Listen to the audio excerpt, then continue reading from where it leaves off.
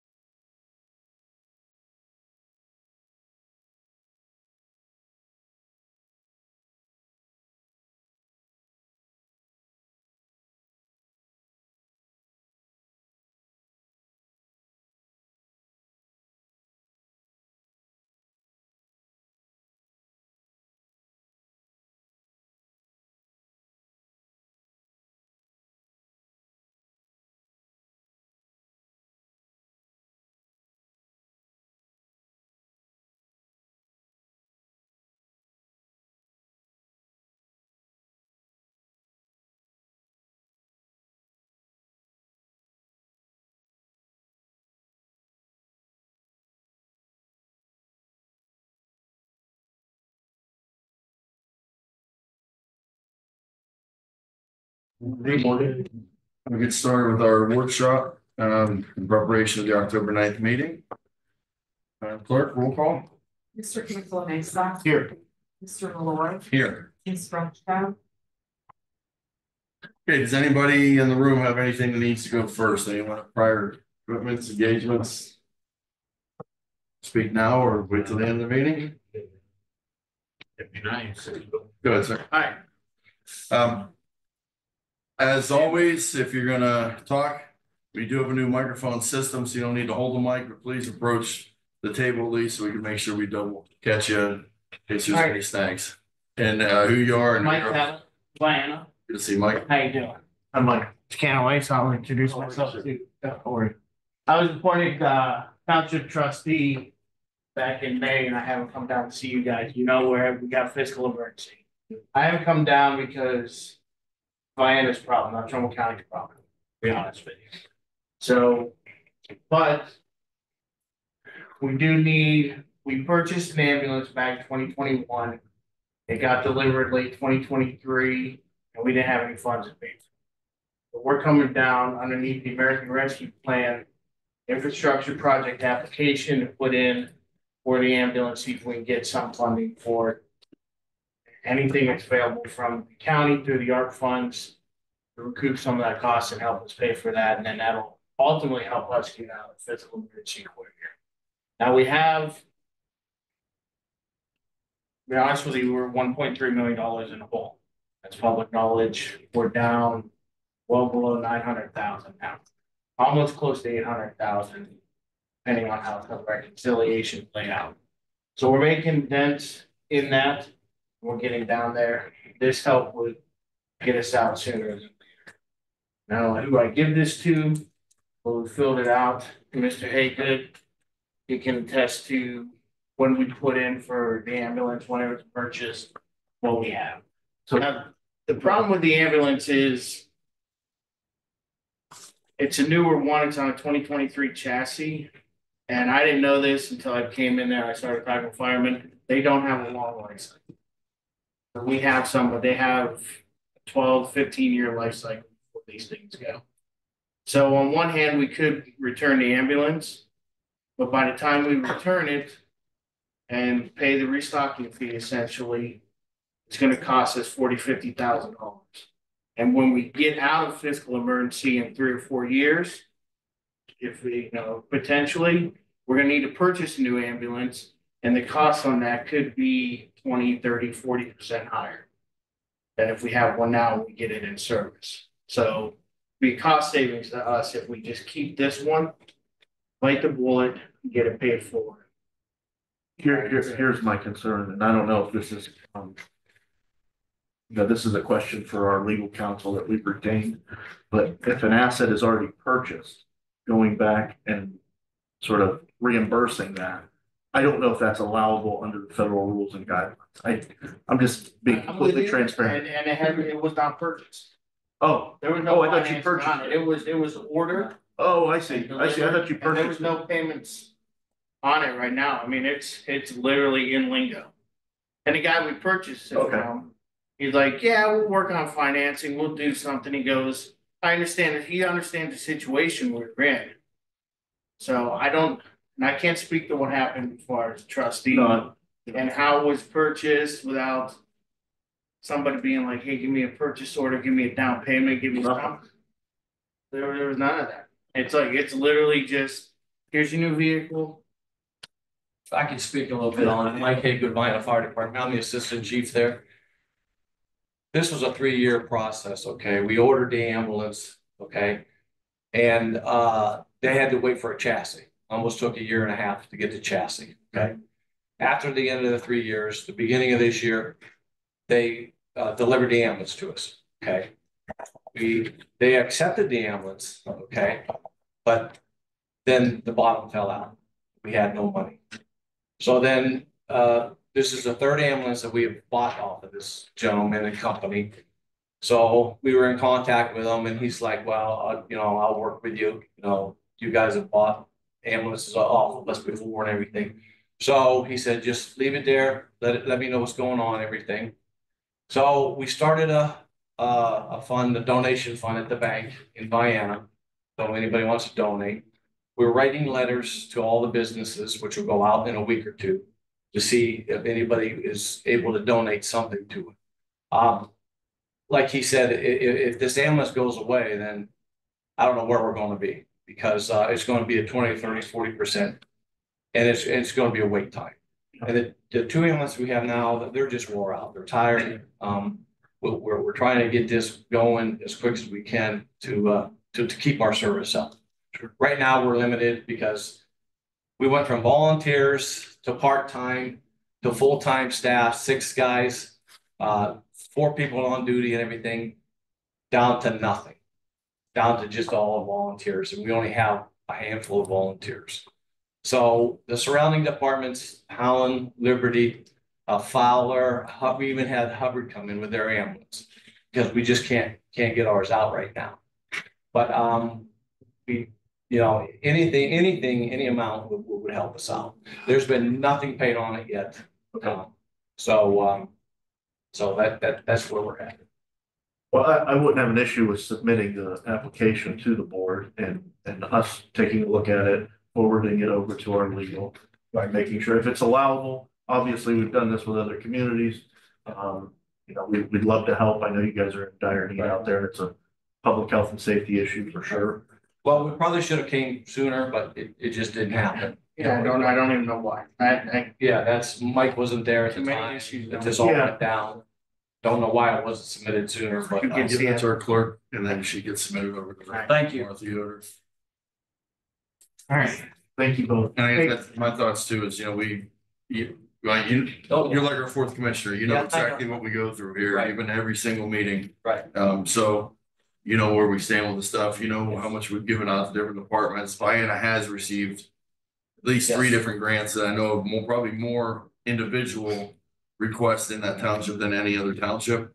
Um, the last thing we got them was, we bought MARCS radios for the police department and the police department disbanded, so. And we got that in limbo too with all these radios that we bought that are place sitting department's there. not disbanded. Well.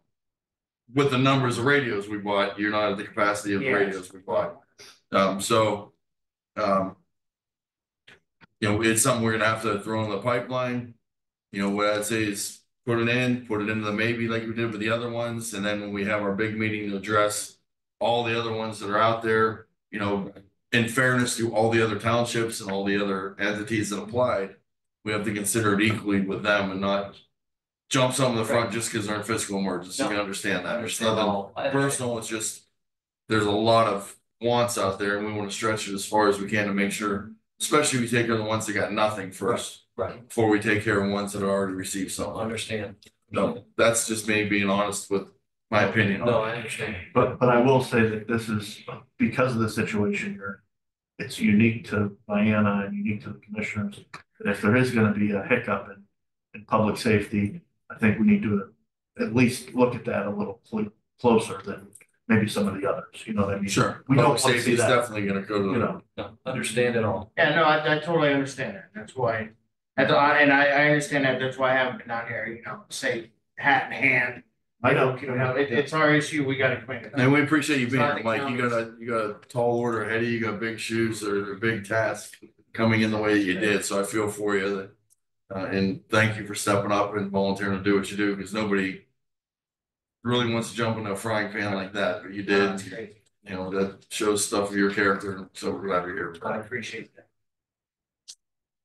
Yeah, Okay, all right, thank you. anybody else have anything? Go Bill, thanks. Administrator, yes, sir. Good morning. You entertain moving item number thirty-seven. Okay, let's go to number thirty-seven, if we could. oh, we, we got, uh, chief panel up, or administrator panel up. That's right. Uh, number Oh, thirty-seven. Item number thirty-seven, I thought if we you entertain moving that forward, I can get back to your township. Yep, we'll go ahead and do this right now, and that's to adopt a resolution of the Board of Commissioners of Trumbull County. Earning Abundance Journal, the filing of a petition for annexation seeking annex seven point nine acres of land. Also known as thirty-nine forty-two Youngstown Road, in Howland Township, in the city of Warren. And further known as being section forty. Uh, the Howland Township being township number four in the third range of townships. In the Connecticut Western Reserve, and a further legal description of the perimeter of the map of territory proposed to be annexed to the Trumbull County Engineers. Um, it was filed October seventh, twenty twenty-four, be an expedited type two annexation. Okay, why and where and what the details behind that? Um, once again, for the record, my name is James Howland Township Administrator. Uh, On behalf of Howland Township, uh, we firmly oppose this resolution or for the consideration. This, uh, thirty-nine forty-two Youngstown Road is a life storage facility. Um, they have been in operation for many years in the township. Um, they were an existing business that went through a remodel and expansion. Um, they had city services, they had water, they had sewer, they were functioning without flaw. Um, for some reason, we're bringing to light the question of why all of a sudden, since they were an existing business that was functioning properly with water, with sewer, utilities, um, we'd like to gain some further understanding of why this is being, uh, why the annexation has come to the table all of a sudden. Um, since they're an existing business, we're familiar with the ordinance, uh, Warren City um, with respect to those that are gaining utilities from the city. Um, when they apply for the tap. Um, they're being requested to apply for annexation. However, within that ordinance, I apologize due to uh late notification of this. Um, I do not have an ordinance, but within the ordinance, it states as an existing business, um. They're pretty much exempt from annexation. So our question is, is we'd like to see a little bit of research done with this situation and why, this is different than any other annexation. Uh, this is not a new project, it, has been there, it's been functioning. A lot of work with fire department, um, zoning as well, uh, as far as water retention. All of those items in there, so we'd like to, uh, just have you take a few extra minutes and think about it, um, and really gather the information on why this is happening. I understand there's an ORC code, it's gotta follow its proper methodologies, come to the commissioners, we'll get the letters. Um, I'd like to urge you to dig deeper in finding out why and what the situation is with existing business. This is all new to me. It's first I've seen it and uh, apparently they just filed this. Um, And they didn't reach out to you guys first. They didn't attend a township meeting. So this has actually been going on for a year. Um, so I'm, I'm not sure of the dates offhand. I have a timeline built out, but I believe it was last year in September. Um, while wearing my other hat as fire chief of the township, they were, uh, expanding their life storage facility and they needed to do a tap in for a fire. alarm. Um, they already had water, and once again, they already had sewer. But the tap in for the water line basically promulgated the question of annexation because they had to get services. It's again, they're existing. So they applied for annexation for type two expedited. Um, it was withdrawn in October of last year, and I think you all had it on your docket for December. Um, so it was withdrawn as a type two annexation. There were a couple of hiccups in the paperwork at that time. So um, it then went dormant for a while. About two months ago, um, this legal group representing this, uh, Watsonville Associates or something of that nature, who's is Natalie petitioner works for, introduced language to Warren City that they were going to re-petition for type two annexation to. Um, that was a hiccup because as you know, by Ohio revised code, it must come to you all first. Um, and not to the city. They've got some cleanup on their side to do. So this has kind of been going on for about a year. Uh, when I reached out and asked them, hey, you've been an existing business in the township with services for many years, you know, what's going on? Well, due to utilities, we basically need to annex in. And, uh, so Is it a matter of the outside rate as opposed to the inside rate? Is that what the? I mean, there is an inside rate, outside rate, absolutely. Um, if you are inside the system, there is a reduction in that. Um, but we're also talking about a storage facility with maybe three employees. Um, we're also talking about, you know, again, I understand dollars and cents, income taxes is pretty much three or four, but in, in, in city versus out city, there is a change in that. Yeah. However, based on what my knowledge is, this was, well, you're gonna have to annex in to get the utilities, but the ordinance clearly states that if you were an existing group, there's no reason for it. It's not, this seems to be a forced annexation in some ways. Well, it- it- the way I understand it, Bill's here, but, and I don't want to put Bill on the spot and give legal advice, but. Um, we do have to receive the, the petition for annexation. Correct. By a certain time limit, is that correct? I You, and again, this one is one I will give a fair warning. It's one that we have a conflict in because we represent the commissioners in Howland Township. Um, but yes, it, that generally annexations have to at least be accepted and entered onto the journal at the next regular meeting. And and I'm just seeing the, everybody's code is within five days, so it's not like something we can push back as That's far as, as far as receiving. As far as looking it over and making. Correct, and decisions. I- I'm here today to just inform you and let you know that we're in opposition of it because we feel this was an existing business. But we're also familiar with the fact that the ORC, there is a process and it has due process, and this is the first step in that process. Yeah. And commissioners, um, I just wanted to let you know that Attorney Burley is, he still remains the legal counsel. That's. Yeah. Because it's been on in And the has, past, withdrawn. And this is nobody but that business. Correct. No residents, no, it's not gonna affect any other neighbors, it's just that Right, business. Just that life storage business. Because I, I am familiar with the process and this is kind of the first step, but I want to be here to state our position on it and the opposition and understand the reason why as you follow the process, we'll get a letter within five days as well. But, uh, just to know that this was an existing business, we're kind of concerned Yeah. about why all of a sudden has this prompted. We want to be good collaborators with all entities around us. As you can hear, we're good collaborators with Vienna providing EMS in their, in their situation right now, um, and just. So I just want to that you'll. You know, well is, is informed. Warren addressed this at all, or is this something they're doing and Warren, does Warren even know? Is Warren Uh, I've had asking to several, receive them? I've had several conversations with the mayor, um, it is at their legal at this point in time, um, as per the process. As uh, Commissioner Cantalamessa said, this is the first step in that process and notifying you all. The next step will be letters to each of the entities within five days as per the RC. Um, it, it was addressed by the city by a resolution, however, they had to readjust that because it was the cart before the horse process. This has to come first by ORC. That's right. I- and I thought, uh, uh, but I thought when that happened, I, I was under the impression that the city and the township had discussed. And that it was a done, it wasn't gonna happen. So this is news to me that it was refiled. And, Uh, you know, But I, you know, th- those are informal talks and I, and I'm not saying. Correct, and we, I've had several conversations with the mayor, talked about it, and obviously when, when the, uh, a type two, an expedited type two. Although it has the annexation term attached to it, um, it is kind of a collaboration effort because the property taxes and the borders remain within Howland Township. Um, but yet the, the city takes advantage of the opportunity of the income tax and those rates are within. However, with this one, the difference is, is it was an existing facility, we're just kind of questioning about, is this gonna be a new pattern? Uh, moving forward, which really, which really hurts collaborative efforts, you know, it puts a little, um.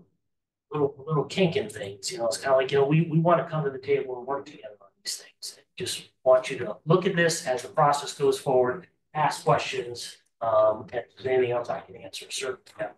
And as you know, this has reared its head before Trumbull County in similar instances.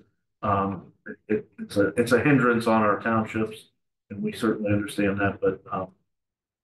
We will definitely take a look at it, but in the meantime, we have to follow, obviously. A- Absolutely, I appreciate you taking time to look through it as, For the, sure. uh, as it walks through the steps. For sure. Thank you. Thank you. Okay, we'll start back at the beginning then. You sure can, yes. All right, um, item twenty-three. We could talk about that. Um, I'm Marilyn Payton, Trumbull County Children's Services. This is a reappointment of Trudy Seymour, who is here as the county prevention specialist for, um. The Children's Trust Fund, Ohio Children's Trust Fund. most of our committees don't require a commissioner appointment, but this one does. So I didn't know if there were any questions um about it that you might have, since it's so unusual. Did anyone else apply or was it open for people to apply or put out there for accepting applications for the board seat? Um, we've always, just because we're the um child welfare agency, we always put someone up for that appointment. Trudy was put up two years ago. She can only serve a total of four years. Each appointment is for two years, so. um, Hers would be a reappointment, and then we would have to nominate someone else to come before you. An issue that. She's on a I'll committee. defer to the director and the, and the board and, um. She, she's obviously been in this position Yes, for two years. for two yes. years now, just, just re-upping her, Yes, one more appointment and she.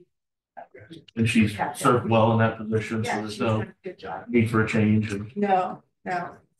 Yeah, Jerry, but- Bobby, Did you wanna add anything or? Uh, about no, the credentials? I'm on the prevention plan, uh, work group, uh, they've changed from, uh. Yearly budget to two year to allow the people who receive the RFPs to provide the service for two years unin- uninterrupted. Okay. Uh, my credentials, I'm a LSW, um. uh, Licensed social worker for the state of Ohio, um, adoption supervisor. For services. Awesome. Certainly have all the credentials. Alright, I don't have an issue with it. Thank you. Thank you both.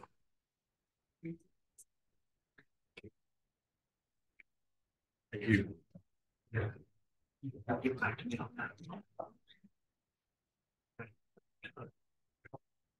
Okay, back to the agenda. Uh, number one, there was the minutes.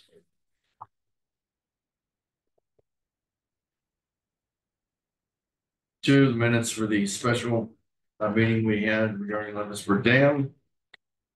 Three, approve the bills. Four, transfer money sanitary engineer. Uh, Bob Myrano, sanitary engineers. Um, this is a transfer from our project reserve fund to a Scoville sewer project in the amount of five thousand. Number five, additional appropriations. They're also sanitary, if you want me to do this. Um, we have two of those. The first one is for eighteen thousand dollars. It's an increase in our water uh, rental deposit refunds account. And the second one is related to the additional appropriation. It's five thousand dollars for the Scoville OWDA loan. Okay, approve transfer of appropriations. The auditor's office, uh. First, we have our children's services board, the first one is seventy thousand dollars and it's on twelve. This is an increase in various costs, including screening exams, daycare, drug screening, food and utilities. Their second one is hundred ninety thousand dollars in their capital projects fund, four two two. This is to upgrade the caseworker work area due to a change in capital assets policy. They'd originally uh, appropriated this in a capital asset account, but because we changed the threshold on that, they're going to, uh, for out of a different object that doesn't affect our capital asset program.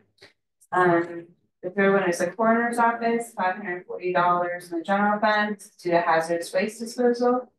Uh, Court of Appeals, twenty-one thousand dollars in the general fund. This is the increase in costs associated with public defender and computer equipment.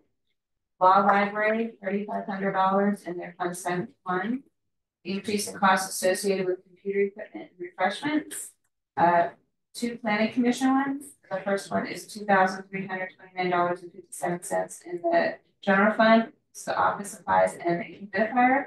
The second planning commission is three thousand six hundred fifty dollars in their fund two-two-five, and this is due to an engineering change order for the GPD contract. Uh, two probates, the first probate is hundred dollars in the general fund, that's an increase in costs associated with operation supplies. Second probate is five hundred dollars also in the general fund, and an increase in costs associated with office supplies. Uh, two prosecutors, the first one is six hundred dollars in the general fund, this is an increase in costs associated with operation supplies in their victim witness division. And the second one is seven thousand sixty-nine dollars and one cent, also in the general fund, and this is an increase in various costs. telephone transcripts and office supplies. Uh, recorder has one for one thousand five hundred four dollars and ninety-five cents, general fund, this is an increase in cost in microfilm equipment maintenance. We have four sanitary engineer ones, but I will let off. Uh, the first one is six dollars and fifteen cents. That's for a legal ad for the Meadowbrook Sewer Project. Then we have seven hundred and fifty dollars for our janitorial supplies. We have twenty thousand dollars for the Champion Water District for excavating work. And we have nine thousand dollars for the Howland Water District for excavating. Okay. Item seven, approve of memorandum of understanding by and between the Ohio Secretary of State. Trumbull County Board of Elections and Trumbull County Commissioners concerning the purchase of new electronic poll pads. And any other necessary equipment for use by the Trumbull County Board of Elections. Secretary of State shall reimburse. The Board of Elections for the lesser amount of either eighty-five percent of the cost of those acquisitions. Or the amount of the allocation is determined by the Secretary of State. As provided by section six ten three oh House Bill thirty-three, of the hundred thirty-fifth General Assembly. Anyone from Board of Elections, Anyone on the line from the Board of Elections?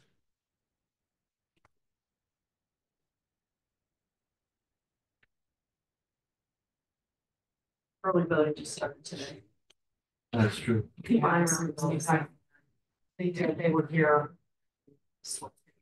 Last week, or It was, it was like two or three weeks.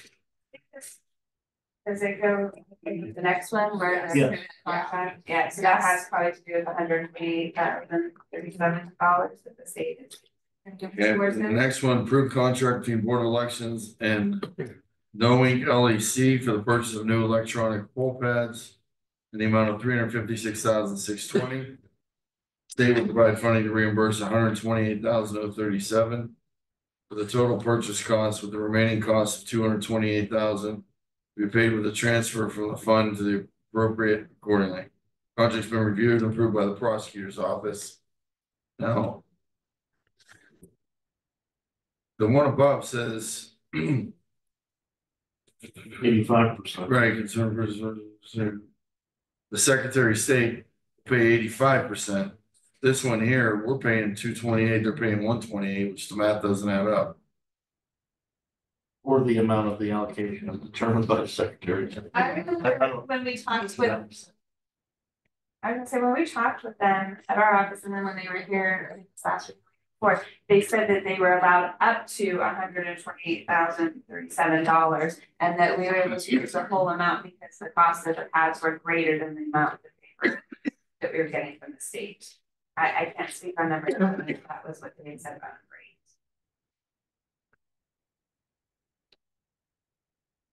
Says it in there, Christie, or the amount of the allocation is determined. So that's.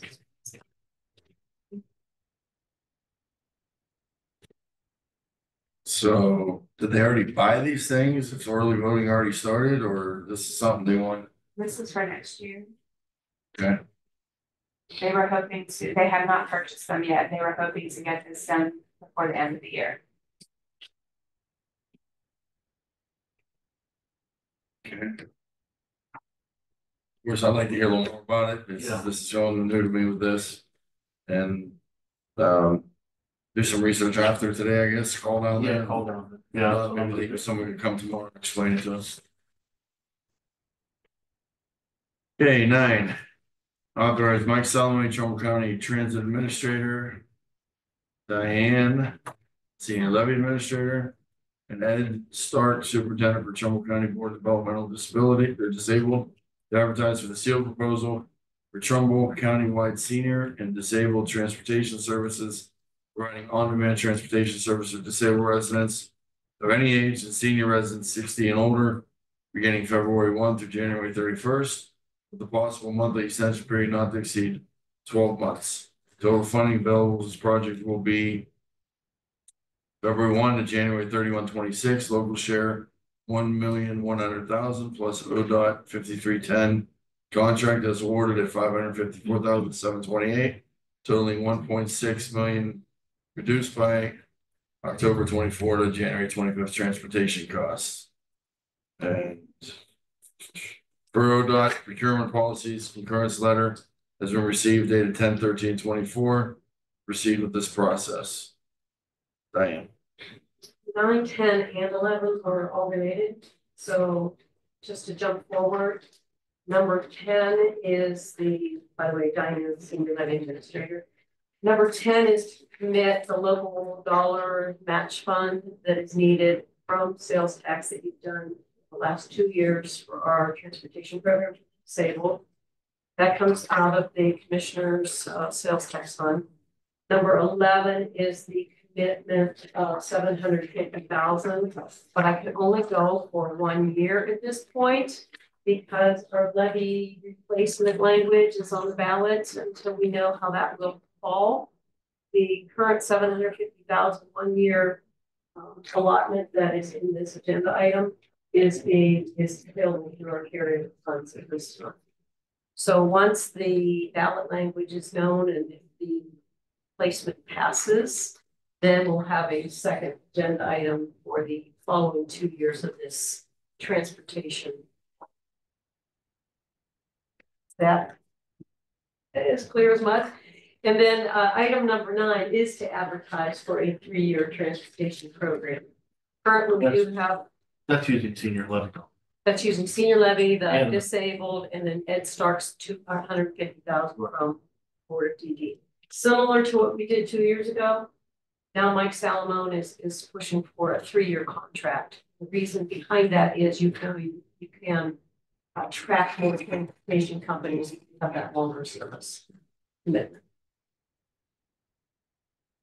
We have a current grant right now that uh is in the signing process. I think Bill Danzo, prosecutor's office, still has to sign on that. So Christine is going to bring that to you, to your attention, to sign electronically. And he just signed it. That grant started in July of twenty twenty-four, but we're just getting the contract in September of, you know, twenty twenty-four. We plan to use it for September, October, November, December. For the current transportation program. So that two hundred thousands we, we allocate for, um, disabled transportation. What, what do we, um, what do we receive every year on top of that? Because that's our match, right? Uh, we currently are, our That's ODOT, 53. it's, it's about five hundred fifty thousand dollars that we've received twice now. Not a guarantee. No, but it's, it could be anywhere from like five hundred to seven hundred fifty. I would It say has- right now, it's been five fifty and we've been the only one that has received fifty-three ten dollars. And an WRT is not gonna receive fifty percent according to myself. Wha- Whatever it is, it comes to Trumbull County. if a, an agency wants to purchase vehicles, that comes out of it first. And then we get the remaining. I see that as a, Antonine Sisters was at the meeting for the, uh, planning for the grant. I think it's money well spent because obviously you're you're more than doubling We have Word. double our I transportation mean- system. to, to include seniors and disabled. Um, and for, I still get, I mean, people coming up to me and say, I need a ride, I'm a senior, how do I do this? Diane, how, do can you, just for the record, so everybody hears this, um, for people listening, I mean, it helps to get the word out there all the time. You need to be sixty years of age or older. Um, Or a disability. Or you're disability. less than 60. And then how, what's the process like, so everybody? Call Mike Salamone or myself. Uh, Mike is at three three oh six seven five two eight seven three. I'm in six seven five seven eight four six. To get an application, we can email it, we can deliver it using Dawn Hyde, we can mail it. And the process is Try to make it as easy as possible. As soon as we get that application, you're approved, you're in the system that day. We do need proof with a state ID form driver's license that you are of age. Um, and you're in the system and you have, uh, the ability then to schedule a ride two days in advance of your need.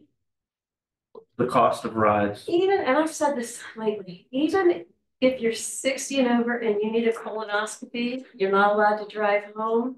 Maybe you don't have someone that can drive you home, the system will pick you up and drive you. You still have to be registered. You're perfectly healthy driving, but that day you need that medical appointment. We can provide. Okay.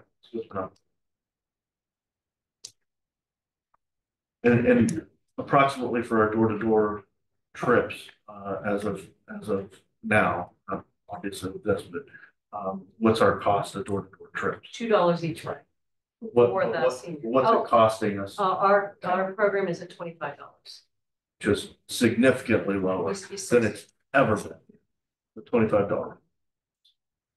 I think competition has driven down those prices. Positive program. Yesterday, um, we get daily ten calls a day to register.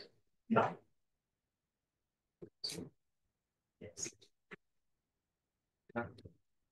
Mike's on vacation, that's why I'm here to speak about transportation. So, so you think a three-year, so we, we're thinking a three-year contract would obviously maybe get some of the larger groups to come in and bid on this because with a year or two years, they can't make up for it if they have to buy vehicles and, and not know that uncertainty of, okay, in two years, we're not gonna be here maybe, so why would I put the capital back into my business? This could potentially attract larger providers, right? Correct. We're just doing one year now is what you're asking for, no? No, this is a three-year program, but my, my local match from senior levy, senior levy. I can't ask you to commit three years when I don't know if I'm gonna have three-year Right. collections auditors. So why don't we do a three-year contract if we don't know if we're gonna have the money for year two and year three? It has in the gonna be on the language there that it, it could even be reduced if we don't get the grant. So it's dependent. on- And that language is in the contract. Yes, is in the, our, Make sure the commissioners have a copy of the RFP too. you do. Okay, just, I didn't see it. Okay, I didn't see it.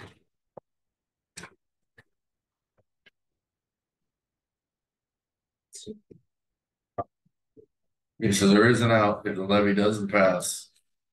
Be on the hook for that money, and we cancel the contract. It's in the RFP and it's. Or if the fifty-three ten dollars are reduced because Antonine Sisters wants to buy a vehicle and that amount goes down. We've had enough funding, we actually have remaining funds from the local match. To meet the demand, To meet the demand for the year. even with just the local match. We've got enough to meet. You've been fiscally responsible. for Those dollars, Okay.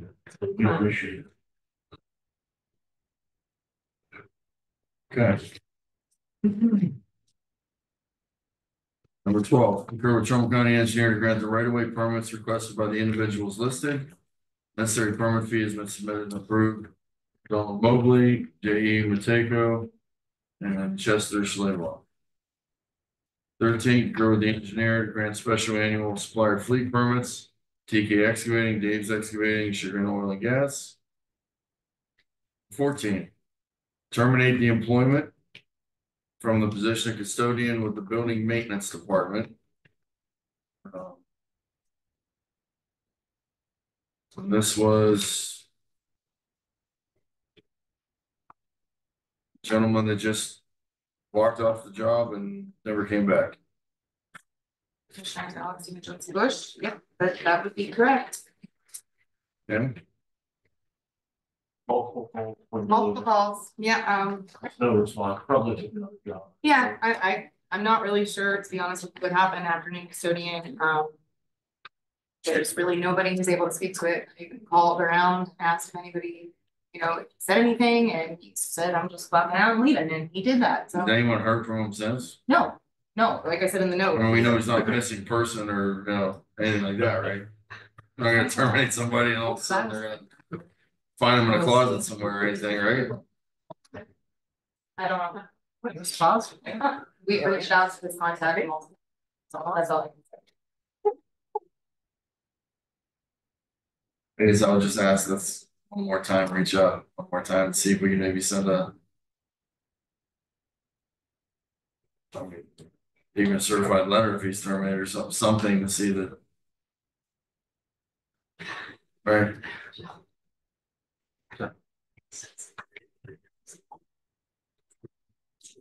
just to cover our own bases on that. Well, that would be for Mr. Hart, it's his department, Yeah. so, but again, I'm just telling you what I know as. Just no call, no show. Yeah, I mean, again, not my department. but, No call, no show. Has anyone drove, is Mr. Harding drove to his house? You know, His last Mr. Hart. residence on there and seen like knocked at the door? And... I mean, it's not atypical, guys, that people do walk off the job and not come back. I mean, this is, this is nothing. Essentially got another job. Yeah, this is nothing atypical. I mean, we have, again, I could talk to Mr. Harden, he can go take a drive out, that's his department, that is duties and responsibilities. Um, but by no means am I going to go try to chase this gentleman down. No, I understand. I'm just saying. I've tried to call him multiple times. As, as an on employer, work. someone walks off the job and you never hear from the guy again, I wanna know that the guy's Yes, um, sane and Yeah. alive and healthy and. You know, Yeah, not I, I don't disagree. amnesia or something and. Who knows? I don't disagree, but again, that would be up to the department. head. That's, that's their operational needs and their business, so. Is he working today or is he off today? it's all- I don't know, he's not even on yesterday, there's like three days. This was out this afternoon. Okay. I'll say something to Mr. Hart. Yeah. But I will just tell you, I mean, I, just so for the record, on my county phone, I reached, I even texted him, I mean, I have it right here. Uh, Hi, I Jonathan, this is understand. Alex, I Trumbull County understand. HR, so I can't force somebody to call me back. You know? And I really don't wanna send a well check to people's house, that's not something I wanna make a habit of doing. But Um, I think we should in this situation, before we terminate somebody for not being here, we should maybe. Have Mr. Hart make a call to the local police department just to check the welfare that, hey, you walked out of work and we haven't seen you in two weeks. Just thinking out loud, maybe that's something. Maybe try reaching out again. Yeah, I mean, I, I'm just gonna tell you I'm sure we're probably right I on this, reached out but, multiple times. but we don't wanna leave any things just in case. Hopefully, Sir, three Yeah, days. Gary knew Bronx minutes are in there, didn't have an emergency? Yes, we, that's what I'm trying to say, we contacted everybody. Oh, the emergency. Everybody. else. Nobody has called us back, nobody has answered. He up and left, guys. I mean, I, don't- this happens all the time. so I was just told he was there three days. Yeah. So he just. He quit. What? Yeah, he just left and didn't come back. I mean, we're making, So I, you're I, like a I'm long- sorry, but you're you're kind of a making a big long-term- deal out of something You're that. Like a long-term employee No, that just one day said, just- okay. No, I got you. It- exactly that. I mean, I worked retail for a long time, guys. It happens every single day. I, this is nothing atypical. I think we're kind of overthinking this a little bit. Um, and again, yeah, no, we watched him. So just so you know, I mean, I even, okay, I'm gonna be very honest here. I watched him on the cameras clock out and walk out and get to his car and pull out. At that, after that point, the gentleman made a job, guys. Yeah. I I don't know what to tell you. I totally understand that. And if I make a habit, again, if that's your directive as a human resources director, fine, but I'm not gonna do that for every single department, that's really up to the department heads, but. If I start a habit now of doing, you know, well checks on every single person that doesn't show up to work the next day, unless it's a ten-year employee that I, that we know, you know, there's something going on. This gentleman worked three days and then vacated a job. I- I don't know what to tell.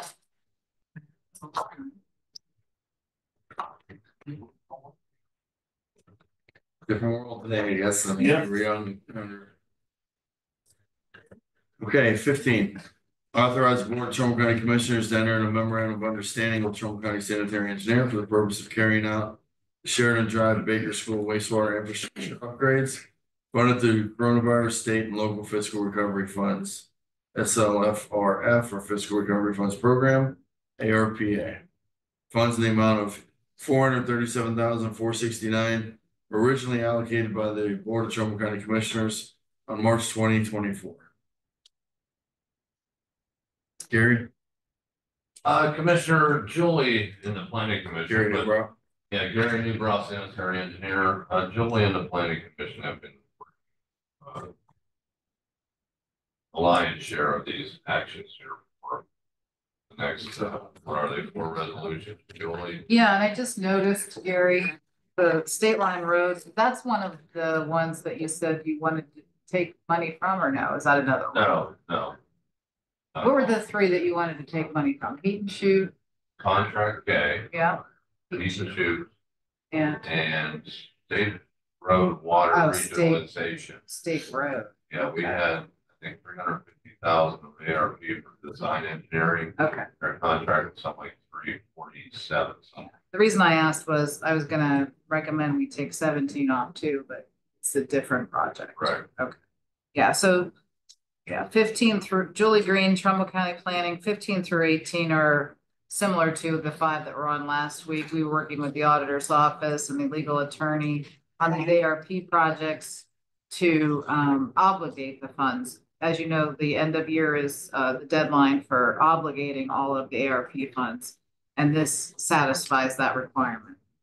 So that's basically in a nutshell what it is. Yeah, the next four, 15 through eighteen.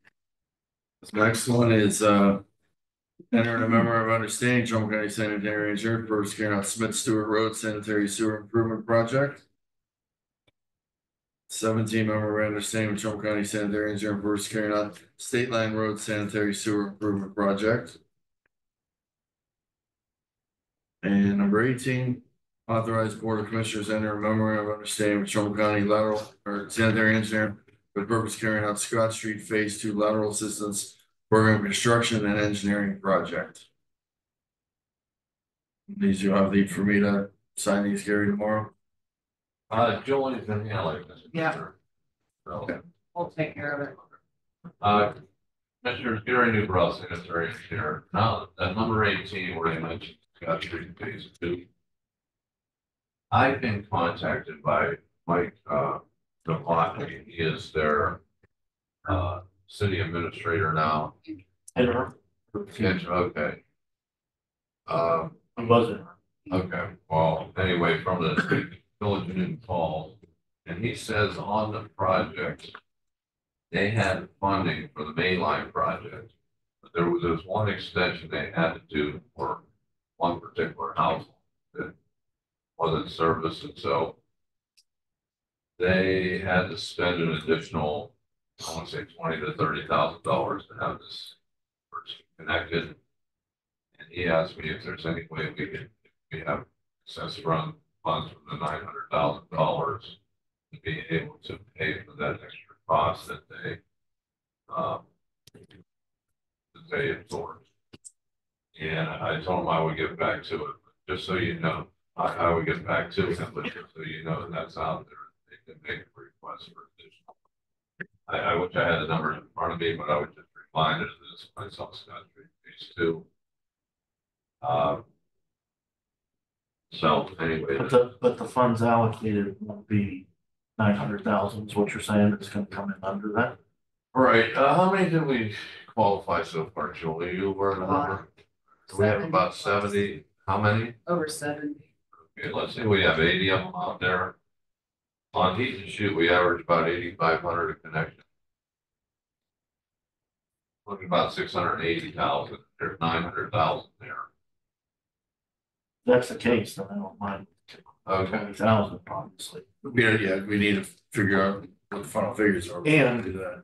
And if they've already connected, I don't know how that would work with our legal. yeah, that's the other. That's the other too, part of that it. We're gonna have to look at legal and. There was already a Yeah, connection and we're Absolutely. reimbursing. I don't know if that's allowed. Right, you have to look into that. Can I imagine at a minimum would have to follow the UG procurement policy guidelines that we adopted for your. Well, when it was a public contract and they constructed under, I would think it would be. Yeah. Part of you those requirements, Most part about trying to reimburse something that's already spent. That may be a stigma. Yeah. That, that Could be. makes- That makes this qualify. It'd be- You're gonna get a hundred percent funding. They did. So Apparently, can't we pay apparently, thirty grand? apparently this took it over the top of whatever their available funding was, that's why he's reaching out. And, and I would have them double check everything on their end too, because they've had so many changes over the last year. Between administrators and mayor and council people, and people that even presented to us, that they, I think they're all gone, so. Yeah, that's a good I. I would double check all them out before we commit another penny to that program. To make sure they get their house in order and their ducks in a row. Exactly in what they did, what they haven't done, what they're on the hook for and what they're not. Rather than just have us come to the rescue with anything. You know, they've got to stabilize that first. I think that's fair. Agreed. Yeah. I'm glad they're on the right track, don't get me wrong, I'm glad they're moving in a positive direction and bringing the police department back and. And it seems like they had the, the big amount of turmoil and. Um, you know, that's calmed or quieted down a little bit. They're under new management, new. Some new mayor and new board members and new administrator, hopefully. um, They'll function normally again.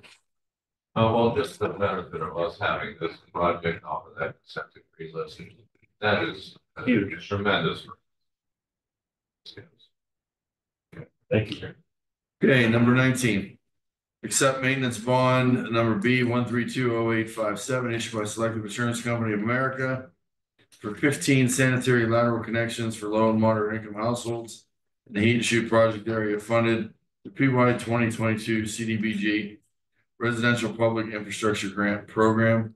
And ARP Act installed by Express Underground. Express Underground requests final payment for the completed work inspected and approved by the Trumbull County Sanitary Engineers Office. Maintenance bond, the amount of twenty percent. The final project cost is valid for a period of two years, ending September sixteen twenty-six. Green Trumbull County Planning. This is one of the last few required item steps to completing and closing out this competitive grant we received several years ago for the Heaton Chute sanitary sewer project, working in conjunction with the sanitary engineer's office and the contractors and uh, specifically uh, Bill McCloskey and Gary Newbrough to complete this. I believe there were upwards of forty connections paid for through a variety of funding sources, including ARP funds as well as CDBG funds. Forty connections, how many connections total are there? Eighty? Well, I think well, I think you served, well, Twenty, I think there were eighty-one active connections, but, uh, that Dean run, run ball.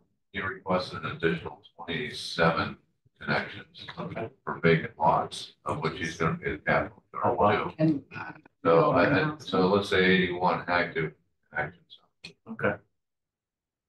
the potential for more. yes. Twenty. Award the best proposal and enter in the lease agreement with DBB Finance LLC. With Trumbull County Sanitary Engineers Office to lease a Sharp seventy C sixty-five copier at a cost of three hundred thirty-three dollars per month for a term of sixty months commencing November first, twenty twenty-four.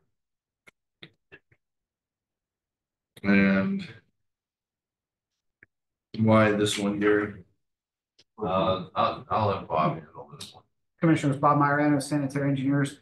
Um, our current copier in the sanitary engineers side of our office is over ten years old. And we're, the maintenance costs, it's not currently under lease, so we're paying significantly to have that machine. So we contacted three companies to get quotes for a new copier. Um, it came down to doing better business, which is based out of Boardman and Crosby Mook, that's based out of Warren.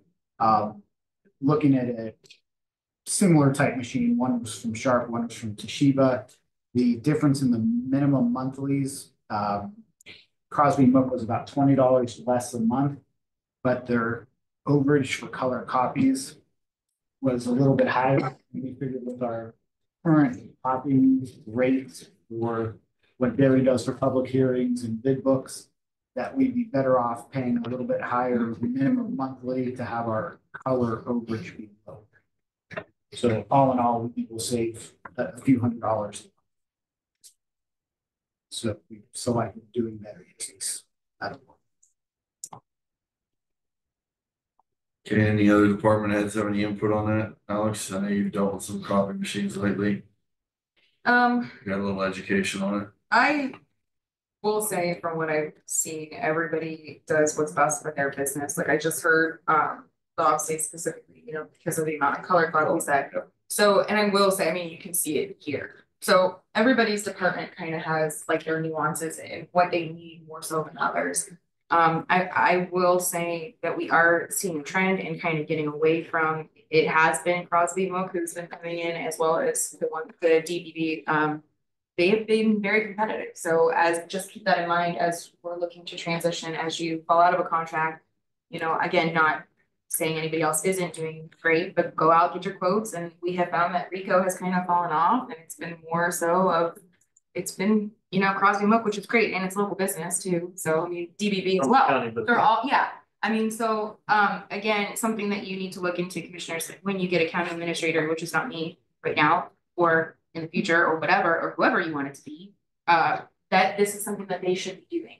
Um, they should be looking at all contracts and looking to leverage ways to save costs countywide, instead of doing one-off nuances. Um, we probably could have a better leverage if we actually went out to bid as a county.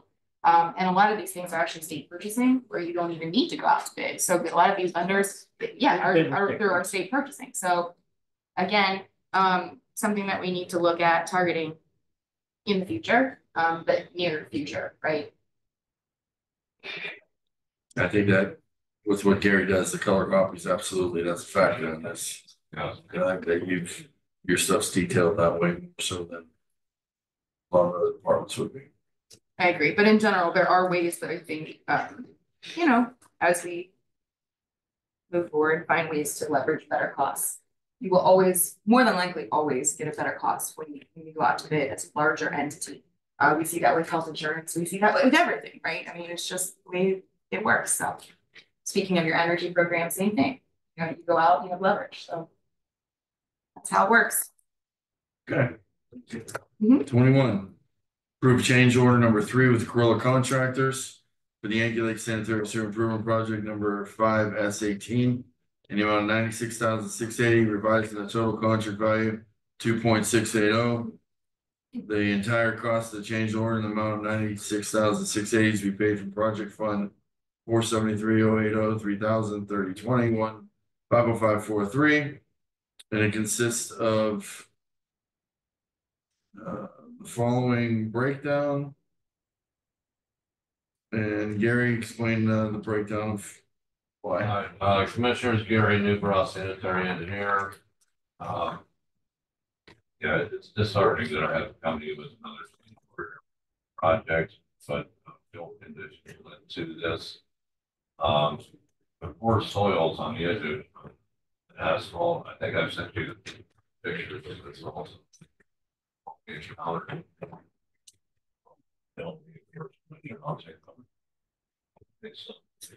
This poor soil for the edge of that road. This thing is collapsed off the edge. At. Um, So we, we it back, it back, they can still travel on this road after we built the trenches and everything. But we worked with the highway engineers, Gary Schaefer. Uh, and determined that. The repair drive here. We're gonna do, uh. The cost of making necessary repairs would be eighty for this first square yard for the project area of six hundred square yards, so. Uh, that's what prompted that. Okay.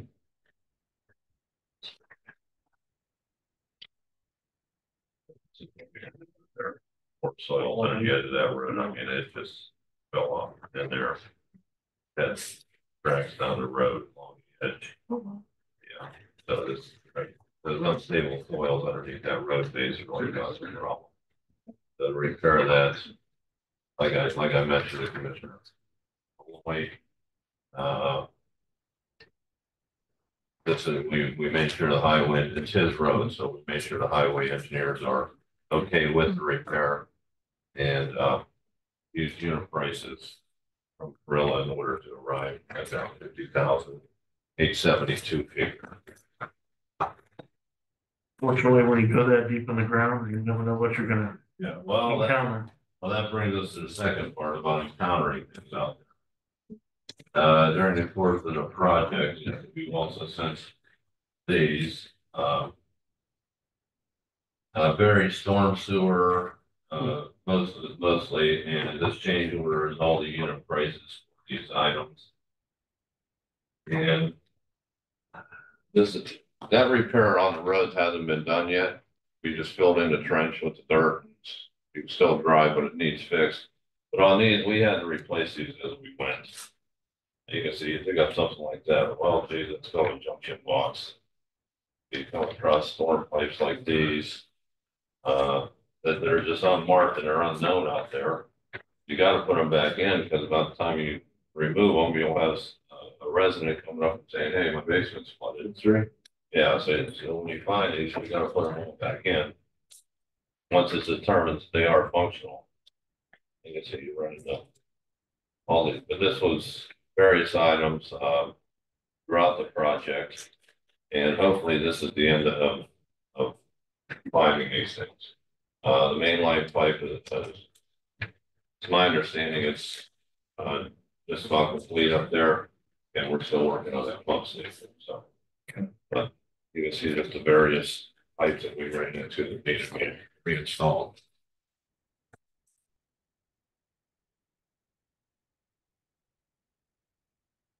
Things like that, you run you know, Oh, yeah. yeah. You know, Something like that, we'll do that, for a little long, figure out what that was. Um, Various things like this. So, anyway, that's the second part of that change. The third part is that um, when they were drilling that force main from the pump station down to Orange Hill Custer Road. As you know, that's a very undulating uh, topography out there. You've ravines, um, Like this, and as you're trying to work that force main. Through there and get the proper depth under streams and things like that. You're not gonna get it at the perfect grade you want to, if you're. Moving, if you're doing that directional through there. And. When it was done and complete. Um. We didn't get the exact rate we wanted. Which gave us the possibility of another air pocket forming in. There. So that third part is to install another air relief valve on this line. If, uh, if there is a high point in there, that it's not gonna clog the line, uh, in the future. And we'll have something to release that air from it. And the fourth part of that is a no cost, and it's just to move the substantial completion date, uh, to the end of the year. Uh, there were delays in getting all the components for the pump station. But Gorilla feels confident that he can get it finished by, uh, December thirty-first. And, uh, there's really no extra costs on our end, uh, for this, uh, to give him additional time the thirty. All right. Well, one other tidbit on this. Um, even with this change order, we still have about eighty-five thousand dollars of surplus funds. So we're not in debt for any part of it. This is only hundred percent for the project. About eighty-five thousand. I was hoping it would be more. Now it's down to about eighty-five. So there's no more snags. Yes. Okay, twenty-two. Approved personnel action for the employment transfer, Mr. Harrison Cole, from the position of sewer line maintenance crew leader. to The position of maintenance worker, same pay range, with the Trumbull County Sanitary Engineers Office effective Monday, October twenty-first, pursuant to. Posting of September seventeenth. Commissioner Bob Myrano, sanitary engineers. Um, this is a union transfer. We had one union applicant. He has the required CDL. Um, he had shadowed both of our maintenance groups, being the package plants and our, uh, actual treatment plant.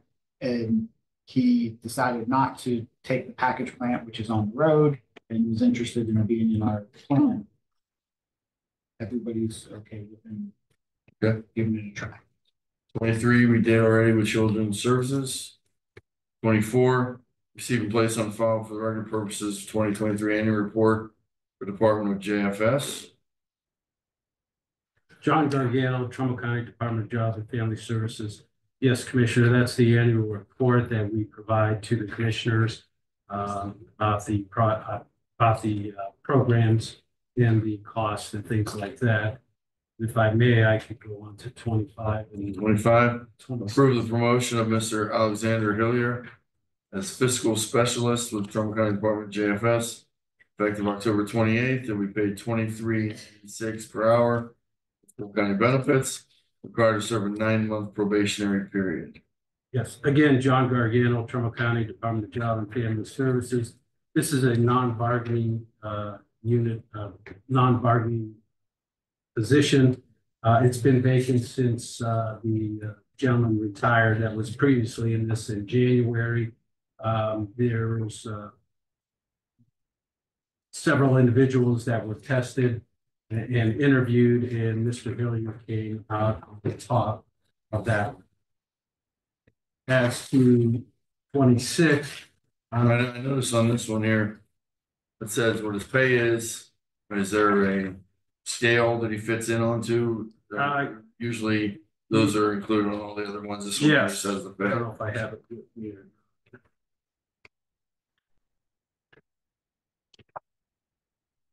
He's, uh, he's going from a, uh, range twenty-eight, which was twenty dollars and fifty cents to a fiscal specialist, range thirty, which is twenty-three ninety-six. And the gentleman on the left, what level was he at when he left? Um, I don't know, Commissioner, because he was in there for quite a few years, so I don't know what his final uh, pay was. Okay, Okay, and then number twenty-six, that's to approve the personal action for the employment of Ms. Bobby Garvey as an enforcement specialist assistant at the Child Support Enforcement Agency, uh, effective October twenty-first. And she will be paid fifteen thirty per month, with full county benefits, but she will serve a nine-month probationary period. that's a new hire. That's an. All right. Twenty-seven, receive and place on file monthly activity for the dog kennel. Twenty-eight, authorizing expenditure responding to and mitigating the public health emergency rescue plan, nine-one-one dispatch center equipment. This is what we talked about last week. And this is in the amount of seven hundred and twenty-one thousand forty-six. For the rest of phone, backup radios, and the dispatch consoles.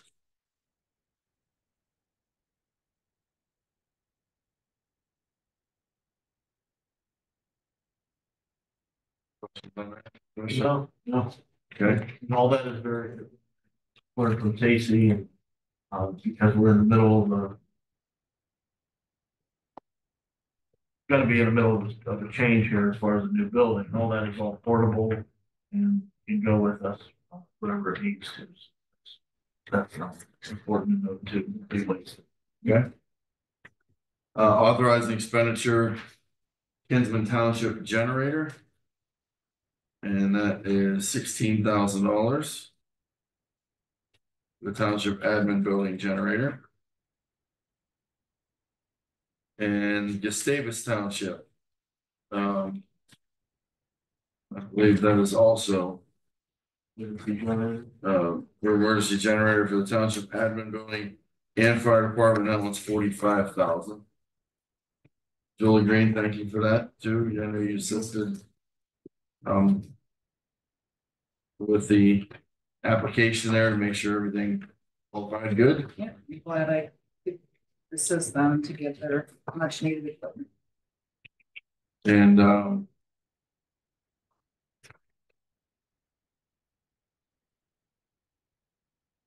So those checks will be, or those presentation things, I'll contact Kinsman, Gustavus and Hubbard. Hubbard, Hubbard. Hubbard. Hubbard is the next one, and Hubbard. Township, Yes. uh, and that is for another generator. And the amount of ninety-two thousand four ninety. And that's for the admin, building and police department. And then number thirty-four goes along with that. Okay, then uh enter an agreement between Board of Commissioners, Trumbull County Engineers Office, and Vernon Township. um, To penetration patch and chip seal on Vernon Township roads. The engineers and townships are collectively known as parties. The engineers office shall coordinate. Furnish all materials, labor, equipment, planning, supervise the work. Not to exceed hundred and sixty thousand dollars. With one fifty-one, six seventy-three to be paid by ARPA funds. And the remaining from the township's gasoline tax fund. Okay, guess that's just cleaning that up a little bit then for Work. Thirty-six. Uh, authorize me to execute any and all documents required for agreement with Warren Roofing and Insulating Company. For the design build roof replacement project, Trumbull County Engineers Cortland Garage. In the amount of one point, one million, four hundred two thousand, five hundred. Uh, it was previously reviewed and approved by Bill Danzo. The amendment is necessary to correct the fund number. Didn't we change the name of the company from Warren Yeah. Yes. Roofing and Insulating? So do we need to change it again with We're this? actually using the, a fun number. Just the fun number. Just the fund number. uh, originally when it was passed, it was passed to all be paid out of, uh, Fund four twenty-five object code, which is the last thing, that fifty fifty-six oh nine. Um, but that's only for design, that object would only be for the design part, not the actual building part. The actual building part needs to be paid out of object code fifty fifty-four oh two. And then that way it gets, a fixed asset tag, and goes into our, um, capital asset program. Okay. Well, like, like we said last time, this needs to get moving, it needs to get moving. If thirty-seven, we already handled with Howland. And then thirty-eight, a resolution recognizing twenty-first annual Trumbull County Sports Hall of Fame inductees. With great pleasure, the Board of Trumbull County Commissioners joins residents of Trumbull County to officially acknowledge the accomplishments and contributions made by inductees and gradually come to this honor. And there's some names on here that, uh, of note. Know, Ryan Allison and Dana Balash, local sports, uh, newscasters. Sarah Cash, Kristen Clemson, uh, Mecca trustee. Michael Johnson, Bill Leonard, Robert Leonard. Uh, Don Lott, Todd McLean, Jeff Russell. Tyler Scott and PC Torres. Been here with uh, Kelly Pavlik. Yeah. Other awesome stuff, so. Proud of their accomplishments and happy to uh, recognize and honor them also. And uh, Commissioner, I do believe they have uh. That coming up, if you wanted to attend and represent the Board of Commissioners for that presentation, I'd be, I'd be honored to, absolutely. And that concludes the regular agenda items for today. Um. Anybody have anything in particular they want to bring up first? Before I get to my list. I have. Yes. Jimmy wants to go first. I'm You sure? Okay. Um, just wanted to bring up the RFPs that the commissioners agreed to allow our office to work on for improvements to the planning commission building. Jimmy was helpful with one of those projects. We're trying to put together a list of entities for the ceiling replacement project. And so I discussed that briefly with the maintenance department and they, I know we had discussed prior that if they're able to do it within a reasonable amount of time, or if they have the skill sets, you know, that they would. So I guess it has been determined, I, I don't have anything in writing, but it's based on my conversations with several people, including Bill, that they would like for us to move forward with that. So I just wanted to bring that up. Um, we do have the carpet RFP that was returned last week. And the, the prices are very close. So I wanted to, uh, present it to the commissioners and then you decide path would like. We asked for option one carpet tiles, option two broadloom carpet. Um, the, the broadloom carpet, uh, low bidder was DJV Supplies Incorporated for twenty-one thousand two seventy-six eighty-eight. The low bidder for carpet tiles was Eric Thompson Company, which is totally carpet here in Warren. And that was twenty-four thousand seventy-eight eighty. So it's a couple thousand dollars difference in price, two different materials, um, or types of carpeting, I should say. And, you know, I'm not really tied to either one.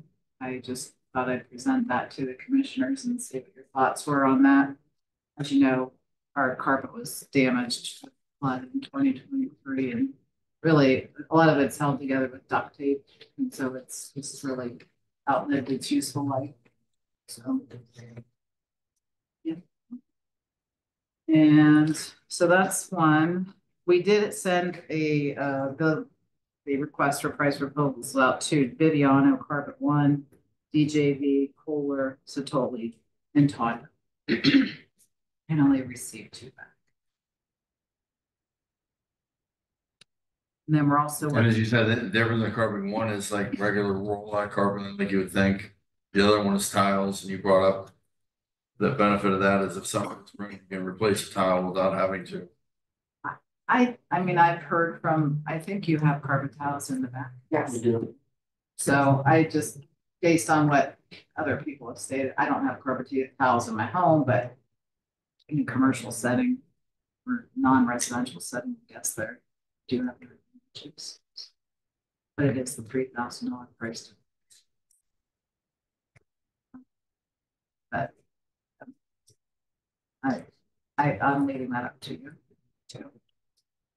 I, I would be comfortable going with the carpet tiles, obviously, because if you get some damage to a section of carpet. You have to pull up everything and do that, I know it's three thousand more, but. Makes more sense to go with the tiles. I guess I, I don't know enough about this to understand. I'd like to see what the tiles are in there, except not a carpet expert, as some other commissioners claim to be sometimes. John Gargano. I'm by no means an expert. John Gargano, JFS, we have those carpet tiles in CSCA in, um, uh, in JFS. And there is an advantage because if there's a area that's damaged, you don't have to rip Pull up all everything. carpet, you, you go get those squares and you just pull one out and stick the other one back in. We've had to do that a few times at both CSCA and JFS and it reduces the cost of having to, uh, re- replace the whole section of carpet. Yeah, say a section gets more. Especially if it's gonna keep the carpeting for another sixty-five years. If a section gets more worn or. Yeah. Like you said, damage. We pull have it that in, the- Section out. we have it in the, uh, I'll say the general areas, not where the workers are. It's unfortunate. I should have, they should have done it in all areas. But those general areas where we've had issues, they come in and they just like pulled out that square and put another one in. Yeah, there's a little bit of a difference because it's a little bit newer. But still, you're not replacing that whole section of carpet and the cost and the installation, stuff like that. The only difference I would think is it's something like yours, you're having. Thousands of customers a month potentially walking in and out of the building. Planning commission, it's just your staff, you're not having public through there, so the carpet's not gonna get near the wear and tear as it would be. In a public area that people are coming in and out always had. So there is a difference there, just in my mind, as far No, as right. the use of one versus the use of the other, if that was in an area where the public interacted. And I would say that I definitely say tile sounds like the way to go. In An area in a private office setting where it's just you guys with it, that that's the only difference there. We also did a check, thanks to Jimmy. He uh, tutored me a few years ago on how to check on these contractors to make sure that they meet the, the lowest and best criteria. So uh, I don't believe either one are union shops, but they both have, um, they're not, they're neither one are accredited through Better Business Bureau, but there's no uh, UCC filings, there's no OSHA violations against either one.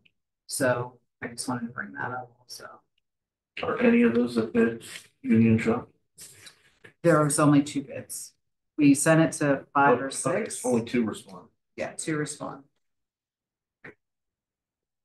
Okay, um, Joy, because you had mentioned Alex. Stephen Jonesy Bush, the ceiling, you said. Maintenance is handling that scope or no, they are No. bidding out, so just to make that known on the record, they were okay. Bidding that, contracting that out, I wanna make sure that that's clear here right Yeah. now, because if the grievance comes across my desk, it will be denied, right? Is that what we're saying? That's my understanding. Okay. I don't have it in writing. Okay. But I did have several conversations with Doug and Greg and Okay. Bill and a number of other people in the maintenance department.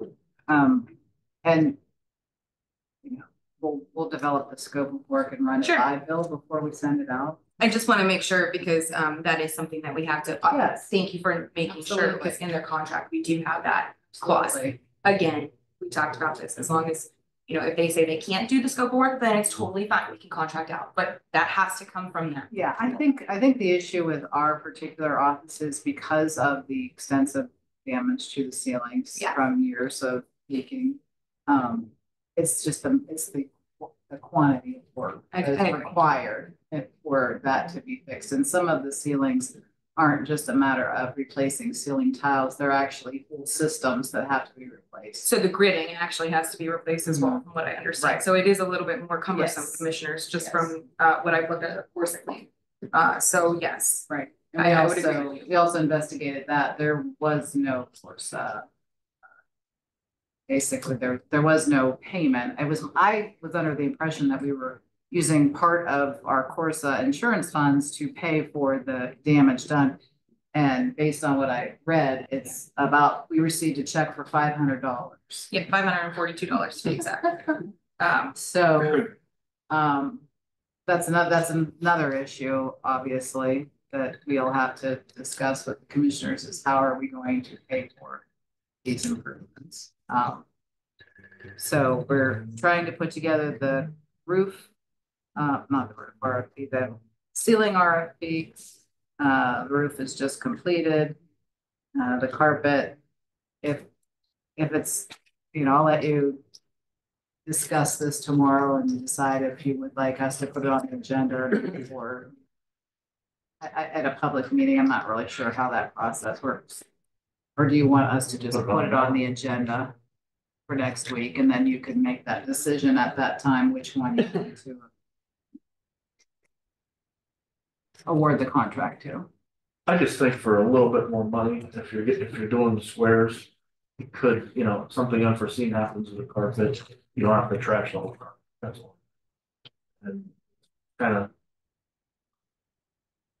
I don't want to say negligible, but it's only three thousand dollars difference in the grand scheme of things. You, you never know what can happen in the course of time.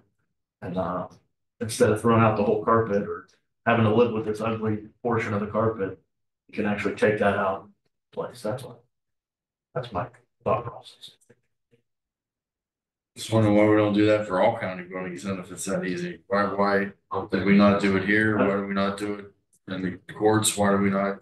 If that's the way to go, why, why not, and I guess that's where I'd like to get a- I an think we opinion have from it, somebody on why we have it. I think we have in some cases, yeah.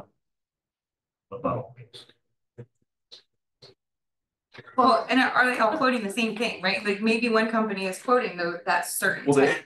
they You, you two gotta options. both Oh, quote. they even go, okay, Yeah. Our, Well, our, um, scope of work is highly detailed. yeah, Um, and so they're, they're definitely bidding on the same exact thing.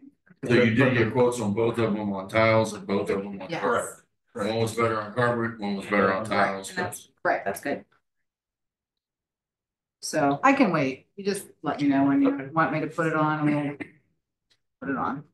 Um, and then for the, like I said, the RFP for the ceiling and the sink are in progress.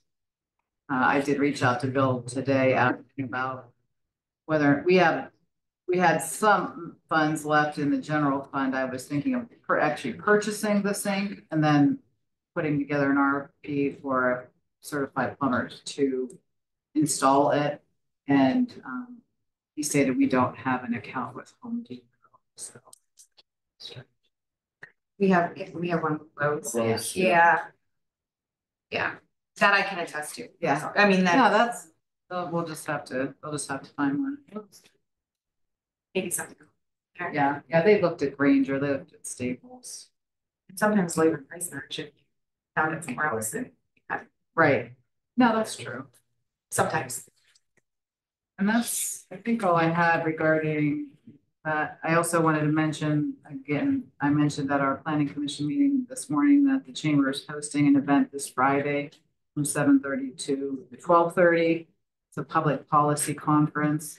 I believe you can register today uh, on their website.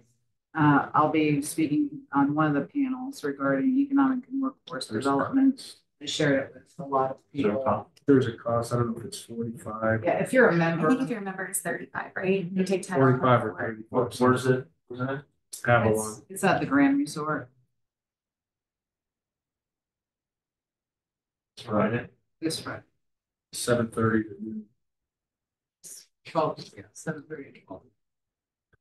And I believe we're considered, if you work for Trumbull County, you're considered a member. Yeah, I've- I've registered some people, it's thirty-five or forty-five dollars per person.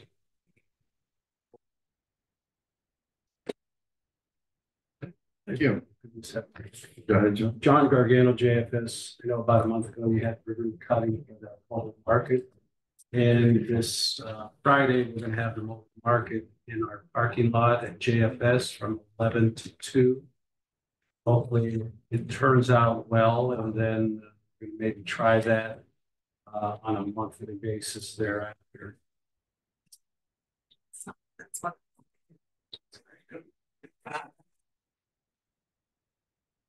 I have one update. Our healthy aging grant has come to an end as of September thirtieth. Most of the programs used all of the money. Uh, most successful was uh Trumbull Neighborhood Partnership. uh, Has probably twenty different households that they can improvements to. Using that grant, they had a hundred fifty-six thousand dollar award. Um, the home delivered meal programs, both Office of Trumbull Home Meals, they used all of their funding. And several others. And we have a couple that didn't even respond. They applied.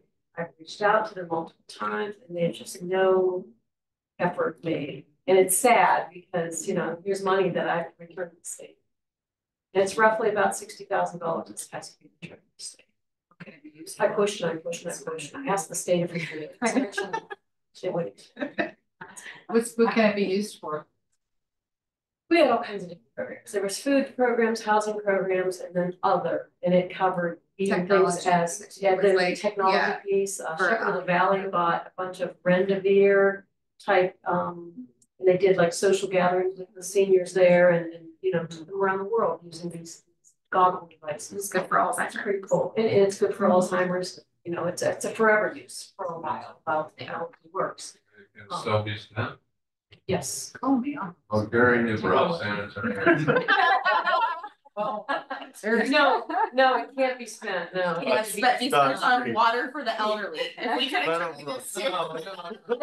I'm just mad. My mother gets the, uh, from a mobile bill, Eight bucks a day. Bill, why can't you just They forget that actually- eight bucks a day They actually did that with people? the last month, they did that for the last month. I gotta So go. it's too. How do you get that when you have a month We have the financial. They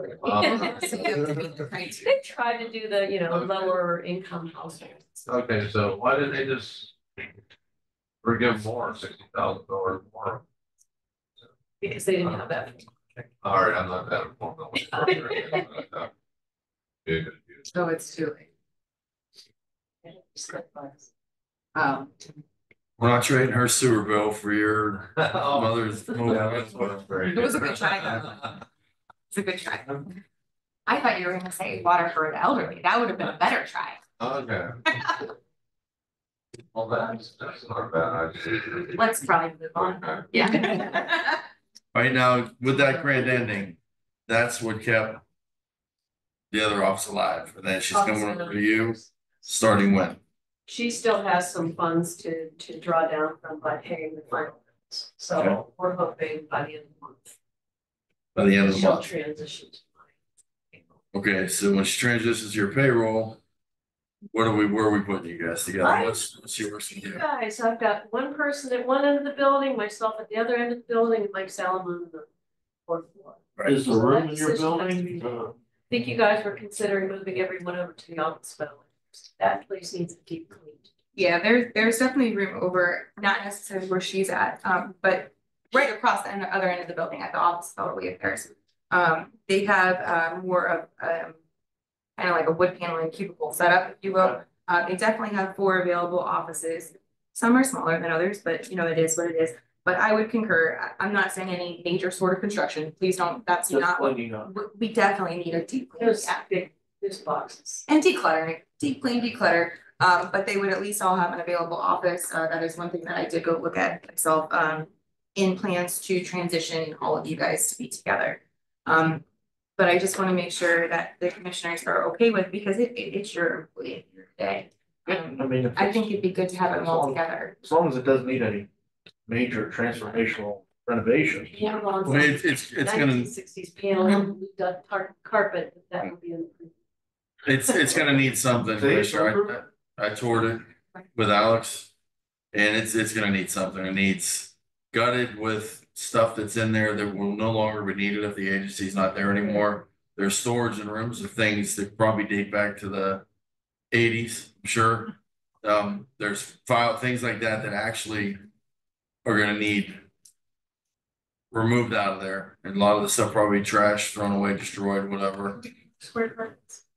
Well, I think Or too, not uh, Square do you want blue? You know, while we're transitioning, um, while Mary Beth is kind of just closing up the funds and all that, I think that is something that maybe she should be tasked with doing, is really going through and identifying what could be, you know, Yeah. cost, I mean, that could be part, I mean, while we still have her under that office of elderly affairs. Yeah. That's something that we really should have, her don't because she's not what- delivering meals anymore, and really, we're just closing up financials. I don't know Um, what so I they, think. And, and not only that, but. I hope I'm not out of line with this, but when Mike comes back. If the grant paperwork's in, like an eight hour full day. He's gonna be moving that office too, he could be over there going through offices, preparing the office, you know, putting in a full day. As much as he can with allowable time to get that office ready and. But if that's the way to go, I think that's the way that frees up one, uh, having one work over here and one work over here and one work at the stone building, I don't think works. So I, I am fully supportive of Mike moving to there and out of the stone building, you know, a- as soon as we can get him out of there. Yeah. Preparing the office that could fit all of them together in one room or one thing. But again, I, I would not wanna work there myself right now, the condition that it's in. It will need deep cleaning, it will need. Um, you know, the bathroom, even the bathrooms and stuff need. Some love as far as cleaning, so we need to get a crew over there, we need to have, have Bill Hart assign. you know, days worth of custodial staff over there, uh, to do something and probably our maintenance guys to. Just make sure even all the lights work and everything else in that building, cause it's been ignored for a lot of years. And then. All the assistants we can to get Mike over there and assist Diane still has her full office. That she needs to move, we can't just expect her to do it, we need to make it accessible, so she has at least as good of an office as she had. In the other building, and even if that means expanding, knocking a wall out, doing something to update something. It, it's gonna need. This isn't just something like, hey, move out Friday or the new building Monday. And that's Well, not I'd, I'd like to see it. I'd like to see what the plan is before I say yes. Um. There's a lot of, you know, all this is fine and good, but we have homes for everybody right now. And it's gonna cost a significant amount of dollars, at least look at. What's that? Yeah, I think that's a, I think, um, Mr. Gillum, so what, what we should do is, I think what I'm hearing from both of your conversations, and I'm just trying to find like a middle of how we can make this work, is that it would be county union work, obviously, it would be our maintenance, our maintenance department. Um, not, this is nothing that sounds like it's out of their scope, but they couldn't do between the maintenance repair workers and the custodian group. So if we could even just kind of cost out how much it would be for them to get all this accomplished, you know, what they think it needs, Yeah. it would cost. That way we can come to you with a kind of sort of idea plan Yeah. versus just kind of, you know, here's what we're doing. Um, but I will say, um, just outside of cost aside. Looking at it strategic planning wise, it, it, it definitely makes a lot of sense. Um, to work Um, harder, I mean, to work smarter, not harder, and have All the these proper people players together. Yeah. However, we can make that happen with the least, you know, Sure. I, I will absolutely. Um, so if you don't mind, um, I think that maybe like a little mini team of Diane, myself and Bill, we could work together to try to figure out how we facilitate all this. Sounds good. Cause I do have employees asking me kind of like, what's going on? Where- Where am I going? What am I doing? So I just wanna make sure people feel like they do still have a home. The ones, again, who don't just walk off the job, but the ones who are here and who wanna be here and who wanna be, you know, long-term employees. So, yeah. Um, another thing too, speaking to that, Diane wouldn't lose, I wanna make this also clear, like, we're, we're not vacating or losing that spot that she's Yeah. in. There is a nice conference room in there, also kind of needs a lot of cleaning, but, you know, that room will still be available for you guys to use, I mean, if, if, if this comes to fruition, Well, not only that, but the- we've had a need right now, we've discussed.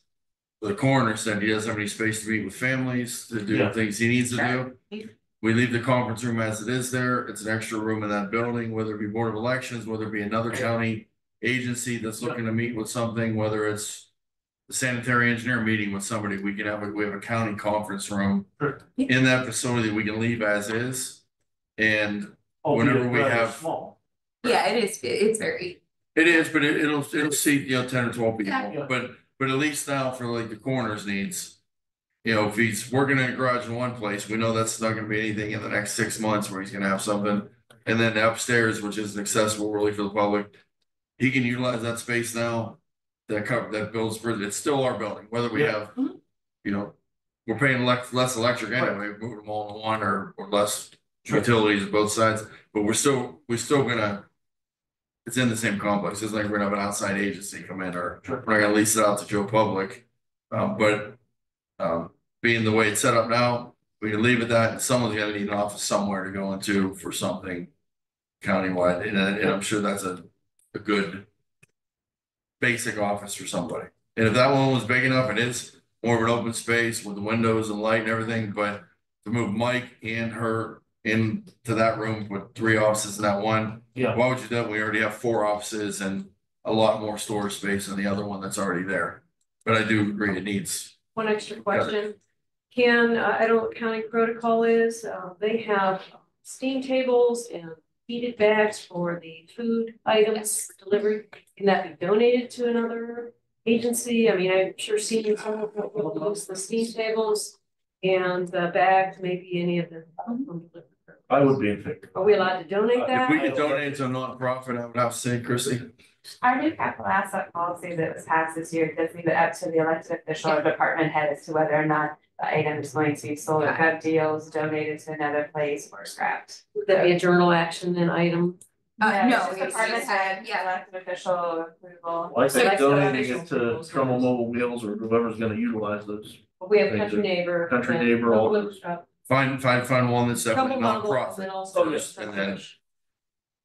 Bill Danso, Trumbull County Prosecutor's Office. Um, the capital asset program is different from what the law says. Just for what it's worth, if the estimated value is under twenty-five hundred dollars, you can dispose of county property essentially however you see fit.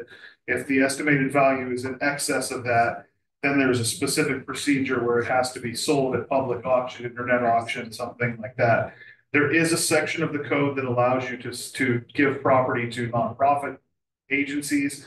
But there's a whole process to that where you have to advertise, allow nonprofits to sign up on the list to receive them.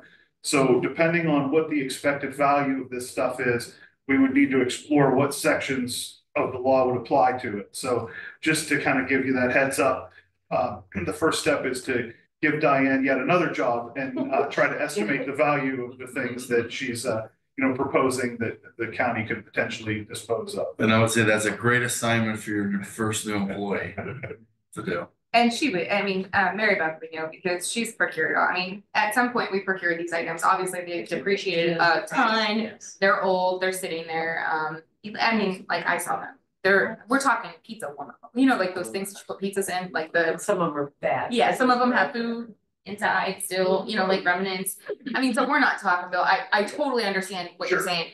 Maybe the warmers potentially, but I, I would have to say, looking at how old they were and, and again, with depreciation, that. So in light of all this, our asset policy not correct. We may have to work We may have to work to, updating the restructure that. like. just as a Well, larger yeah. issue. And again, Bill Danso again, the, the asset policy, I think, you know, as long as the state auditor is satisfied with the asset policy.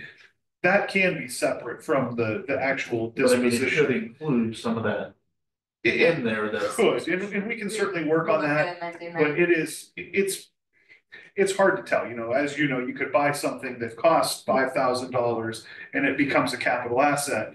But twenty years later, you know, it's broken, it's We all- destroyed, it's not worth five thousand, it's, it's worth a, made nothing. Just maybe. let- We get a lot, we do dispose of a lot of older stuff. We do. Right. That are, but for accounting purposes, we're not. Uh, putting things into, not requiring things to be put into our capital asset program that are less than five thousand dollars. Yeah. We only appreciate uh items that are greater than five thousand. Okay, And that's been a while, that did, did not get amended in the capital asset policy, we kept Okay. it threshold. So we just. Okay. Yeah, that's a good point, Chrissy. We didn't change any dollar amount thresholds. We Okay. just, For the capitalization, Right. for putting it on as inventory, we inventory, did change yeah. it, before we said. Um, anything over five hundred dollars, the new policy said under a thousand, thousand. no, between thousand and five thousand was department or like head at discretion. 'Cause our, our capital assets are large and I Don't want to uh, overburden it, a bunch of small. Yeah, we had like people staplers. Yeah. Yeah, I mean, we legitimately had people putting staplers as a capital asset, so, and that's just not. Hundred dollar item. Yeah. I got yeah at recently, so about eighty-five dollar chairs that they wanted to put in there. The little Dymo printer things, I mean, those are not over five thousand, I mean, we'll- No. yeah. But we'll work with you, so to Yeah, say we yeah. need to amend that part of the policy to include worthy. On that. Very good point. Just to be safe. It's like that gap between the twenty-five hundred to the five thousand is what we need to really like. on. Yeah. And, Just to be and what we're talking about value was not the purchase price, but the value at the time of Of disposal. disposal, right? And what we maybe be requiring them to document at that value. Good point. I'm being. I'm gonna call you about that later, because I'm not. I'm gonna be shortly calling tomorrow. Okay, I will. It's not, it's not pressing. So we just have some work to do, back to you guys, once we've got it all. Once Sounds good. we've got it at a place where we can present it and feel like it's a, it's a. Yeah. Feasible solution. I don't think we're talking about a massive build out. Oh, no, no, I mean, and also guys too, again, I'm just gonna leave it with this, don't forget that, I mean, I love doing home projects, again, I'm no HGTV person, I don't claim to be somebody I'm not, but you can also paint white, you can paint wood paneling white, I mean, we're just talking about a coat of white paint, it'd be, it would actually probably make a huge difference, just opening up the space, just painting, Yeah. though, cause it's completely, I mean, it's like, no, nineteen seventies, but you can, you can paint it, and, and It's all coming back. and But again, it's blue duct tape on blue carpet coming back, that's all I'm. Uh, At least that's my out. And I'm a fan, because air conditioning doesn't work. And I go on. It's beautiful. That's one of my happy person, so I just don't. I mean, we might have to, yeah, get a little. There's a beautiful Trumbull County, little area. I don't know what that is, but it's a beautiful art piece. It's on the wall and it's up the Oh. courthouse. And it really is a nice piece from, based on the cars in the picture, maybe the early eighties. There's a gremlin in there or something. But that really needs to be preserved, maybe in the historical society, to take. I think, I- yeah, I think, is it removable? Yeah, I think It's so. like- that was in there. It's on the panel. It's removable.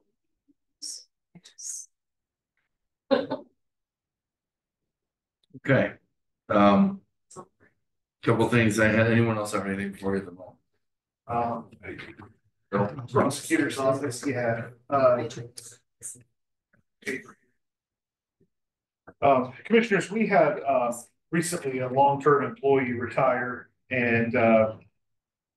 As you guys might recall, and I know the auditor's office might, uh, when an employee retires, there are certain payouts that go to that employee of unused vacation times and a certain amount of sick leave time.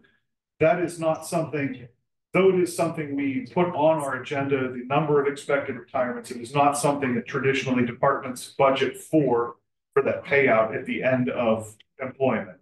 Uh, so that being said, we did alert the commissioners that we had at least one expected retirement this year. That did happen. And now, uh, we're coming to the commissioners because basically we need to get a, a, an approval for an additional appropriation on that. We spoke with the folks at the auditor's office. They said we needed to bring that to the commissioner's attention. Um, it, it's not really an option, unfortunately, in a way. It's, it's a, it is a something that, the law requires us to pay out that vacation and a certain amount of the sick leave. So, um, I'm just kind of presenting that to you. I'd like to put it on the, the additional appropriation list for next week. The total of that is be dollars and twenty cents. Uh, again, this was, I think, a thirty-five year employee. Um, that's the, the good news in the prosecutor's office is we tend to keep employees long-term. The bad news is when employees leave after long-term, they generally have accumulated a, an amount of, uh, vacation leave and sick leave that's unused. So, uh, as long as you guys are, are good with that, we'll put that on the additional appropriation list for next week. It's almost the exact amount of your conference room you just lost. That's okay. We can just get different color duct tape from Diane. Hey, we have a conference room in Diane's old office. You can use it anytime you want. Get you the code. I'll, I'll get some new duct Got an tape. option off the duct tape when it ready. There you go. I'll roll up there. Major Mason. Yeah, Dan Mason, uh, Sheriff's Office. I'm just gonna be presenting the, uh, ICS Solutions contract from last week with corrections. There was also a couple other minor uh, items that were left off of the contract that were in the RFP and the legal presented back to us. And we said, I, I also this morning had emailed you the contract.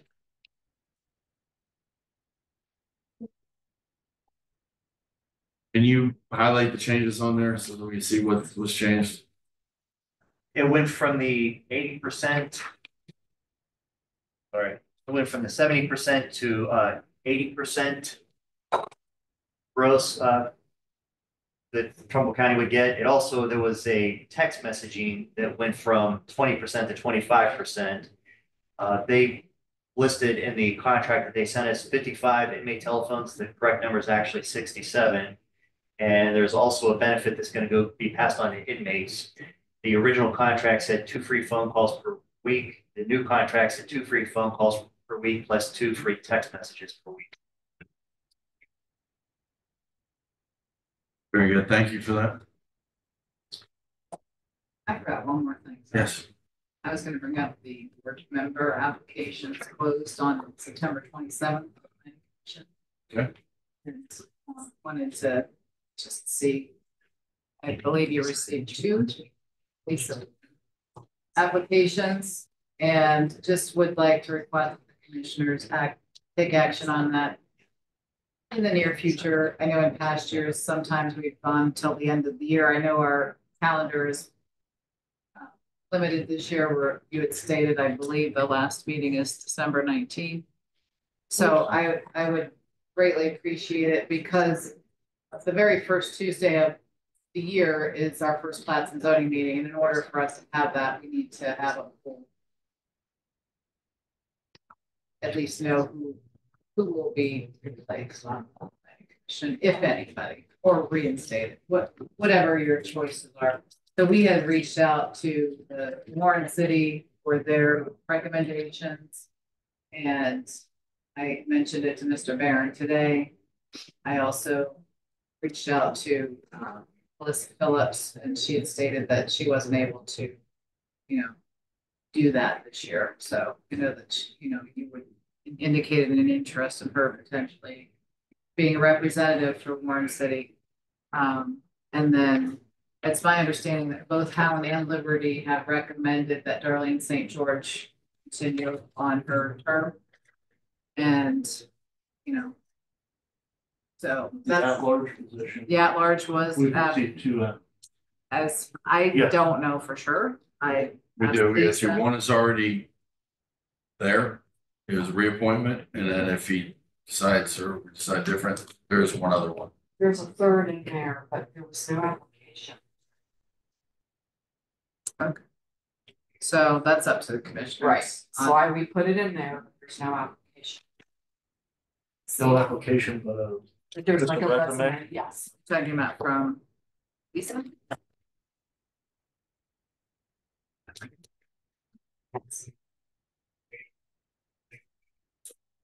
So I just wanted to bring that up because the last couple of years. You know, we we waited until the very last minute and. It's just, it's just very um. It's a challenge for, you know, getting, making sure that we have continuity of. Getting things approved, so. Okay.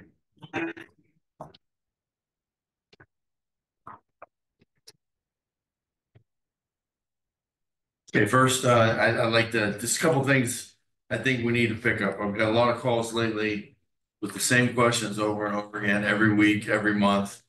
Uh, first one, and the biggest question I get more than anything is what's going on with the dog pound? When is this dog pound gonna be done? Where are we at in the stage of the dog pound? And of course, animal lovers ask that question a lot. Um. And also I get a call yesterday, I talked to uh Jason from Healthy Hearts and Paws. I mean, we have a problem that's out there that we need to address as a community. He's got eighty-one dogs right now at his facility. Our dog pound is maxed out with the number of dogs they can have at that facility. So we've got, I would say somewhat of an emergency crisis going on in this county that there are so many abandoned dogs and cats. Um, and with just relating to the dog issue, I mean, to have eighty-one of them there waiting for adoption, put the private facility and what we have at the pound. Um, we've got to do something. We got to ring some bell, set some alarm off or something for the public. One. We gotta, we have to be more conscious within our own families and within our own communities of people getting pets they're not gonna take care of. And maybe not allowing your seventeen year old son to bring a dog home and, you know, and breed it or, or whatever. Um, you know, we gotta have some responsibility as a community to watch out for our own. And if these pets are being abandoned, if these pets are being abused, they're being neglected.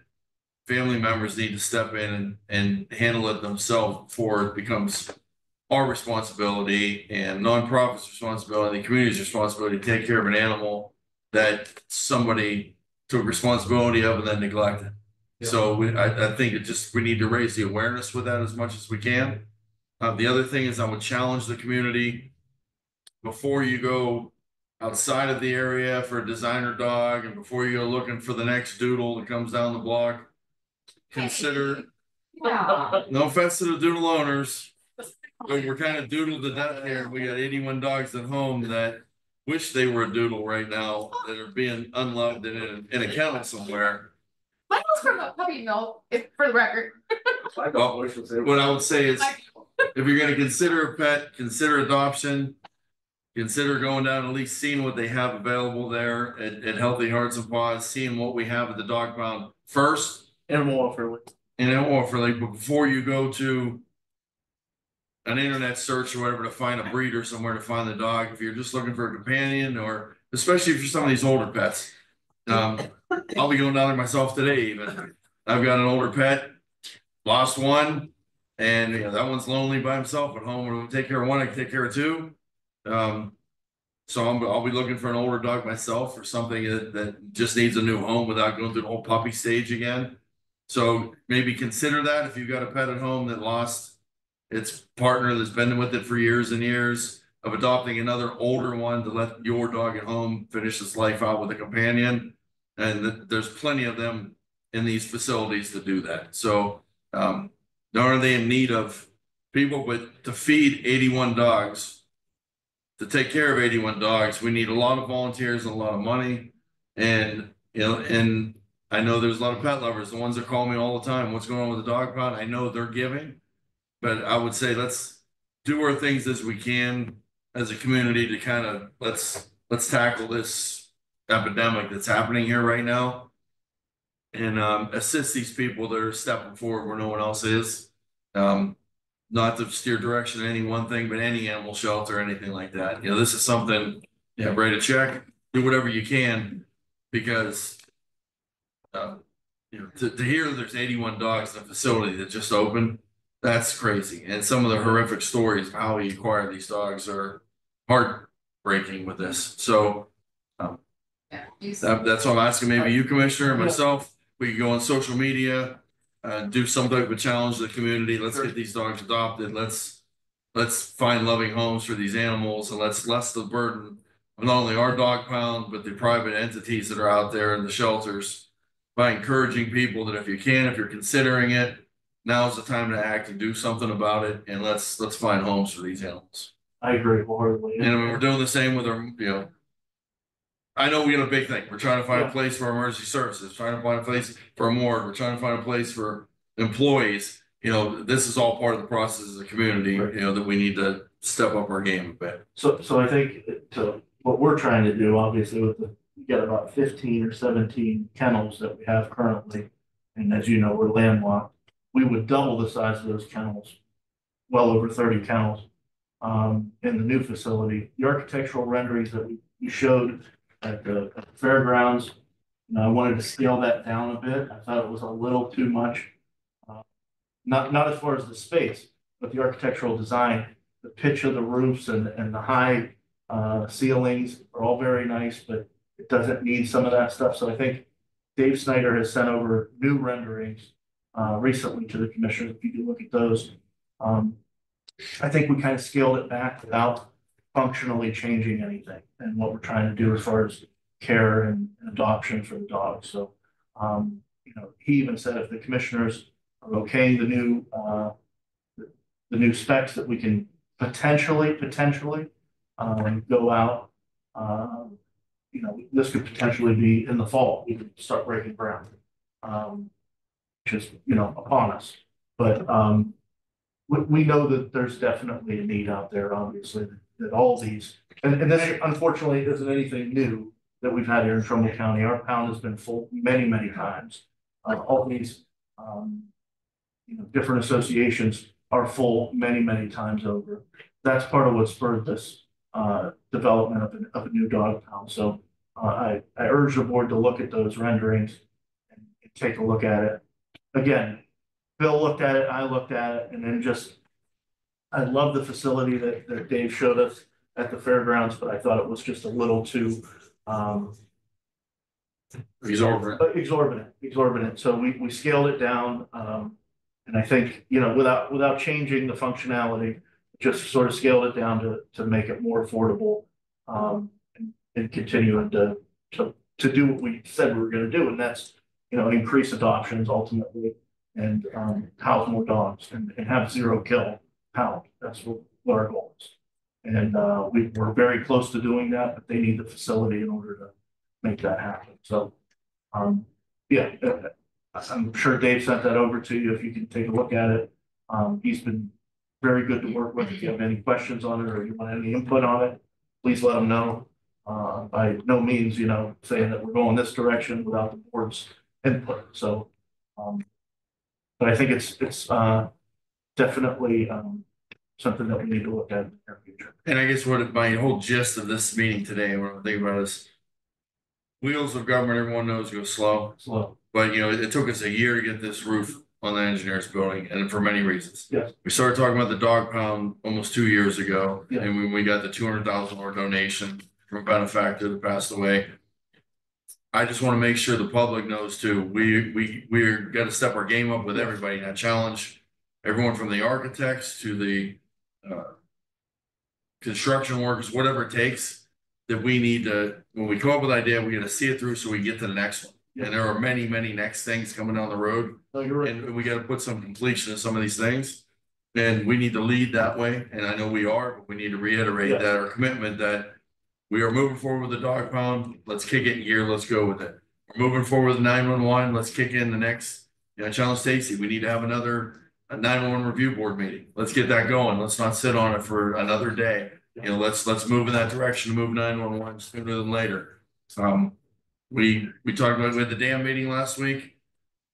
Their board is meeting at the end of the month with their regular meeting. Let's move on them, make a decision with what's going on. Let's move on this thing and let's not delay anything any further uh, with what we're doing. Um, and the last thing it really is outside of us, but I did get calls this week, so I promised I would address it. Um, you know, is that a township with the issue they're having with the auditor's office? They said, hey, what are we gonna do about payroll? We got another month coming up. We need to pay people. I know it's in with legal, this and that. We need to facilitate moving this forward, to get Bazetta compensated somehow, some way, whatever we gotta do. To make sure that we don't get a situation where township is. Behind on any payments or gets in a situation financially. We don't want that with any of our townships. We wanna make sure everyone moves forward with that. Um, so let's, um, let's work together to do that. Let's, let's come to some agreements. Let's, let's move forward with it without having, I just don't want the wheels of government clogging up as everybody knows, and as everybody just assumes government um could be a pit, you know, that, that where nothing gets done. We've done a lot in the last year and a half, you and I, and with this board have done an awful lot with a lot of obstacles. And we just want to keep this momentum moving forward, make commitments that we have so much more to tackle. We can't get to that next step till we put the final uh, finalization on the stuff we've already started. And just as another, and sometimes this is what convolutes it, uh, you know, there- there's a fine line between doing your due diligence and, and, and maybe, you know, getting off track, but the, the, I was approached by, um, Pound Superintendent, uh, James Cantalone, who was here today, looking at, um, North Road School for a facility for nine one one. You know, this is an, this adds another, um, you know, that, that they think it would be perfect. Can you come look at it? It's one of those things. We've got to continue to do that due diligence, I think, but at the same time, it sort of gets us off track in a way because you have to, you have to give it at least a look see, you know, or look once over. to, to make sure that it's something that we can actually use or not use. So I'm meeting with, um, James and the, and the superintendent to at least look at that on Thursday. And I know we've done the feasibility study and I know that, that there are different options out there that we need to be looking at, but how, how do you not do your due diligence and at least give this a look? And Well, maybe- I guess too, when I get complaints or I hear from people, like you guys need to do that, you, they don't know, you're already meeting with Mr. Fennel, you're already doing that. Of course. I, I already went and looked at the coroner's office, I, I've already met with, uh, Mr. Snyder about the dog pound just this past Yeah. weekend. So there are things they don't see, just because they see these meetings, Yes. they don't see what goes on on Monday afternoons and Tuesday nights and Friday mornings when we're not here in front of the Right. camera. And those are things, I don't know, maybe we just need to elaborate a little more with what's going on in, in a different situation, a different world. We may have commissioners that handle certain departments, give updates weekly on what's actually going on so the public hears. You know, we're not in that world right at this point to be We're able not. to do that.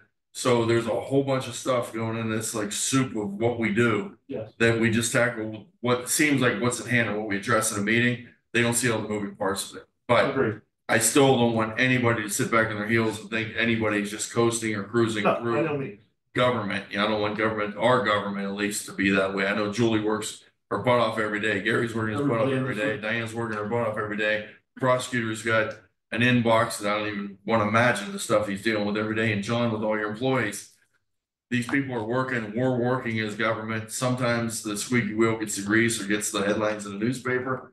But by no means are we, did we forget about the dog pound? No means did we forget about nine one one or the employees are waiting, well, what's going on? It was hurry up, now it's hurry up and wait, a lot of action and nothing. They may not see everything, but we need to still keep it conscious that we need to check ourselves too, to make sure that we aren't delaying a day or two or a week or putting things off at all. We just gotta keep it moving forward for the public. Agreed. Agreed. So A that's. lot of moving parts, right now, a lot of moving parts, and we have a lot of issues to tackle, especially capital asset issues.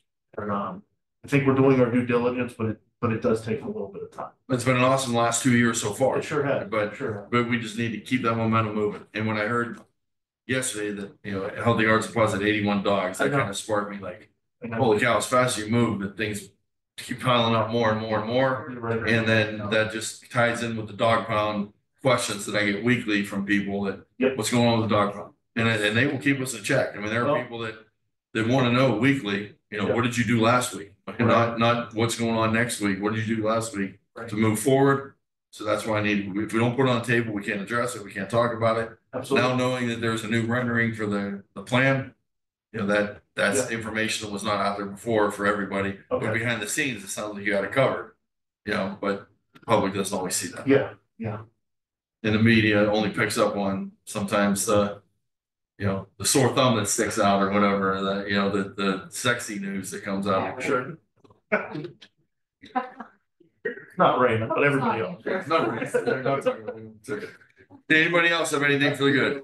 I wanted to make a recommendation, I'm sorry, just real quick. Years ago, elected officials used to do public service announcements, partnering with our local television stations. You may want to do one of those for, to bring a light to the issue with the dog situation. We also need Bob Barker, to help people Yeah. spay and neuter their pet. Right.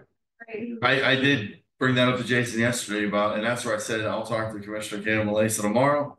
Bring it up at a public meeting. Yeah. And like I said, if we can team up maybe bipartisan way as commissioners on behalf of the dog pound and, and they want.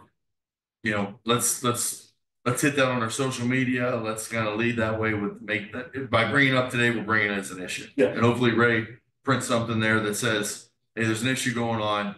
Consider adopting, you know, consider giving love to an animal that's, that's sitting in a shelter right now. Not only does they don't need a home, but we need the space. And Yes. we need, you know, the less mouths to feed, the less burden it is on the taxpayers. Someone else can take care of it at, at their home and adopt that animal. Uh, right now, it's just a problem, it's compounding. And now we're getting the winter months, when it's colder, you know, and it's gonna require a lot more TLC, a lot more fuel, a lot more heat, a lot, you know, a lot more of everything. Um, let's get the, let's clean out some of these kennels. While we can. Rookie move. That's all, he hasn't seen the slide, it's old. Yeah, the slide, slideshow. Is that right? Yeah. Oh. Yeah, he probably hasn't even noticed the slideshow. I've been watching. I have, Entertaining. I get it's great. Okay, and with that, I guess the last thing is there is a tourism tour that we're doing. Oh, yeah. At the end, of- we'll, we'll get to Sean, at at the end of the month. Um, now's the time I think where Trumbull County shines, my favorite time of the year in Trumbull County. Hunting season's here, there are people deer hunting, there are people duck hunting soon. There's still good fishing going on in this Mosquito Lake. Um, we have three of the largest wildlife areas in the state that are in our county, so we will have thousands of visitors come to Trumbull County. Um, to recreate here over the next couple of months. You got all the apple festivals and apple farms. And I encourage people to go to Hartford, encourage people to go to Lordstown and, and see the little farm markets that we have, the Creeksides in Hubbard or in Howland and, and all these little unique little things that make our town, our townships and our, our county great. Um, take Sunday drives in the fall and see what we have to offer in the county. You know, and this is the time of year that I live for particularly. It's, you know, I'm a fall type of guy. And, you know, when you smell, when the weather's forty degrees and, you know, to me, that just gets my blood flowing when it comes to the cold weather like this, being an outdoorsman. So, um, we encourage people too to get outside and see what Trumbull County has to offer during, during the fall. I prefer summer, but that's okay. It's okay. We have plenty of summer activities too. Yeah. Right. Oh, Sean. Mr. Shook. Sean Shook, Trumbull County resident. The dog pound is one of the things I wanted to hit on today. Uh, we haven't heard anything in a while, and there are people that want more frequent updates. Uh, from what I heard you say, it sounds like, obviously, there's no way they're gonna get into that new pound this year. So another problem is, and you kind of addressed it with, uh, with Jason, think Jason's been swamped pretty much since he opened. Dumping of the dogs, the severity of the injured dogs is getting worse.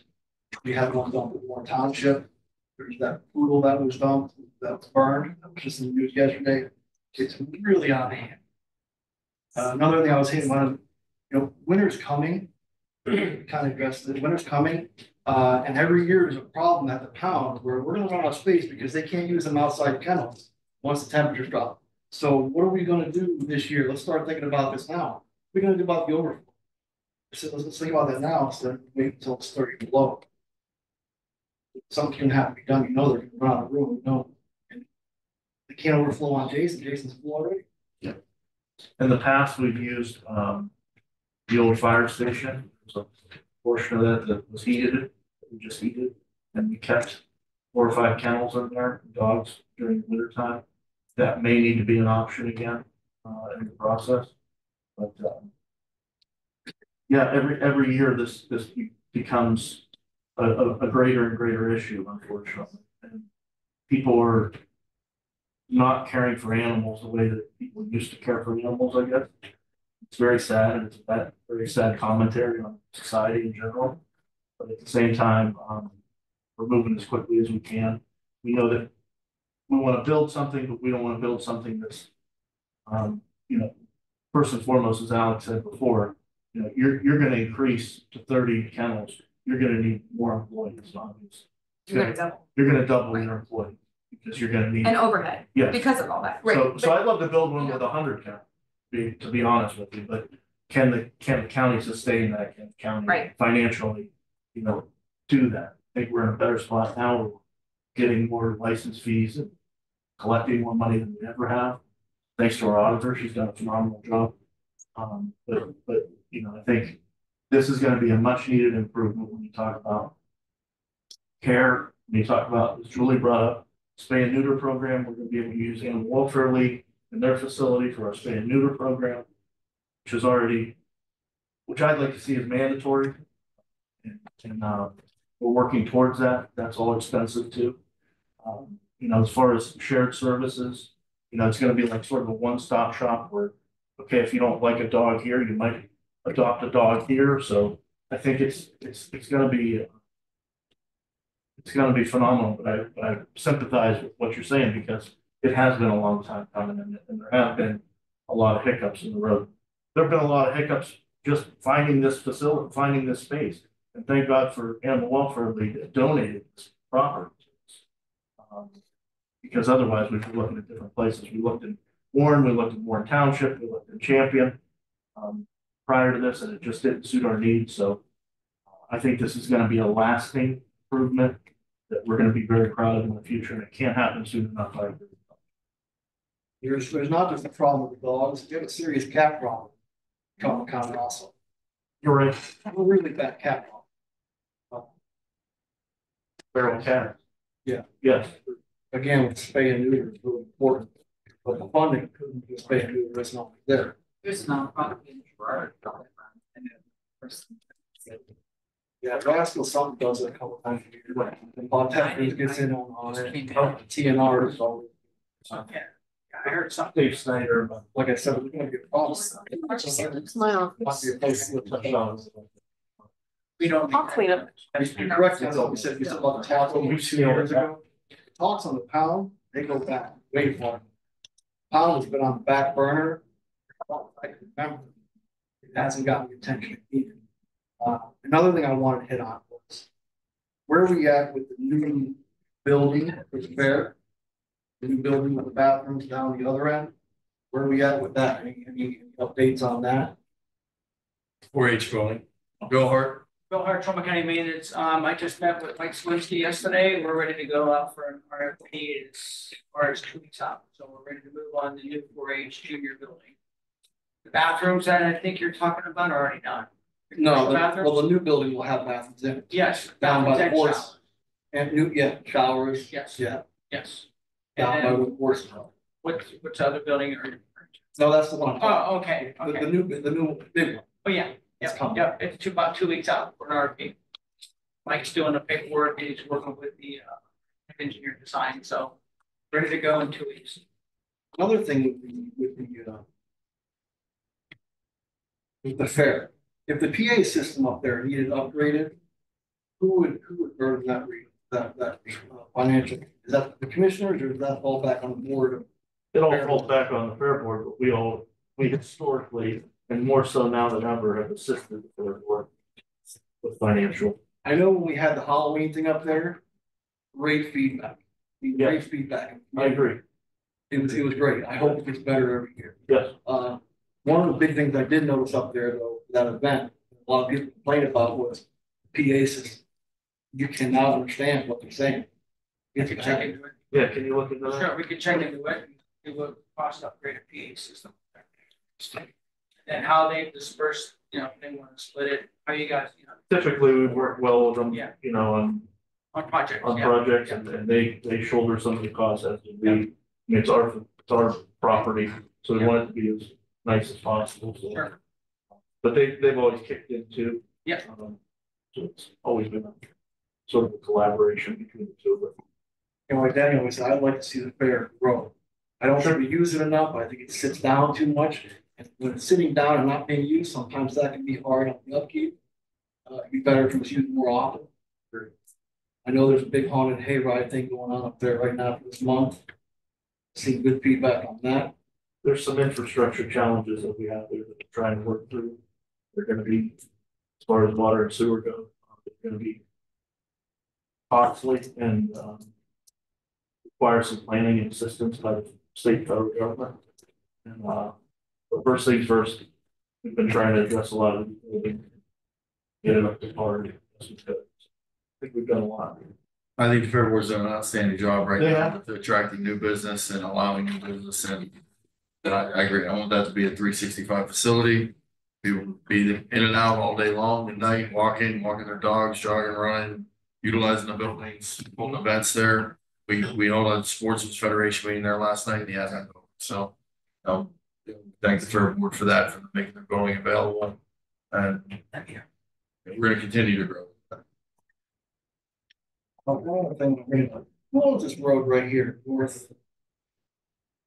North Park. Is that Warren City or is that a county? Harmon or North Park? North Park, I think right here on the corner, it goes out to Big Mike's. City on all streets. Yeah, these are all city. If it's, it's not an issue for you guys. They paved it out there. I don't, I don't know why, but usually general rule of thumb, when you pave a road, you never cut it again. Mm-hmm. You don't pave it and then cut right in, that's stupid. And there's a spot up down by Big Mike's where they cut two trenches across the road. And it's beating the hell out of my car every time I come through it. There's low spots, there's high spots. Yeah. I don't know what they're doing, this has been going on for weeks, I think they ran new gas lines across the road, that's what they did.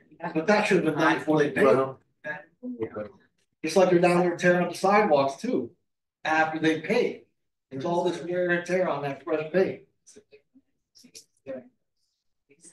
you've got gas company, you've got the city of Warren, you've got. you know, a lot But of he's different saying entities. It's ordinance. Yeah, they should coordinate, but Well- once you pave a road, you never wanna cut that. Yes, but the city of Warren has no control over a private.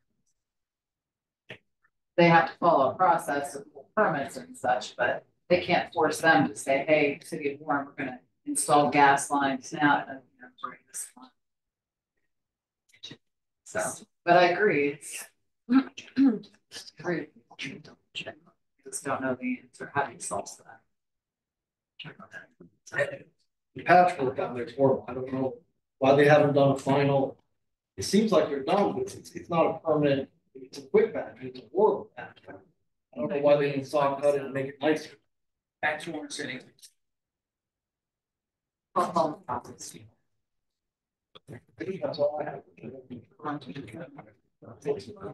Okay. With that, I'll entertain a motion. Make motion to adjourn? Second. Mr. Cantalamessa, Yes. Mr. Malloy. Yes.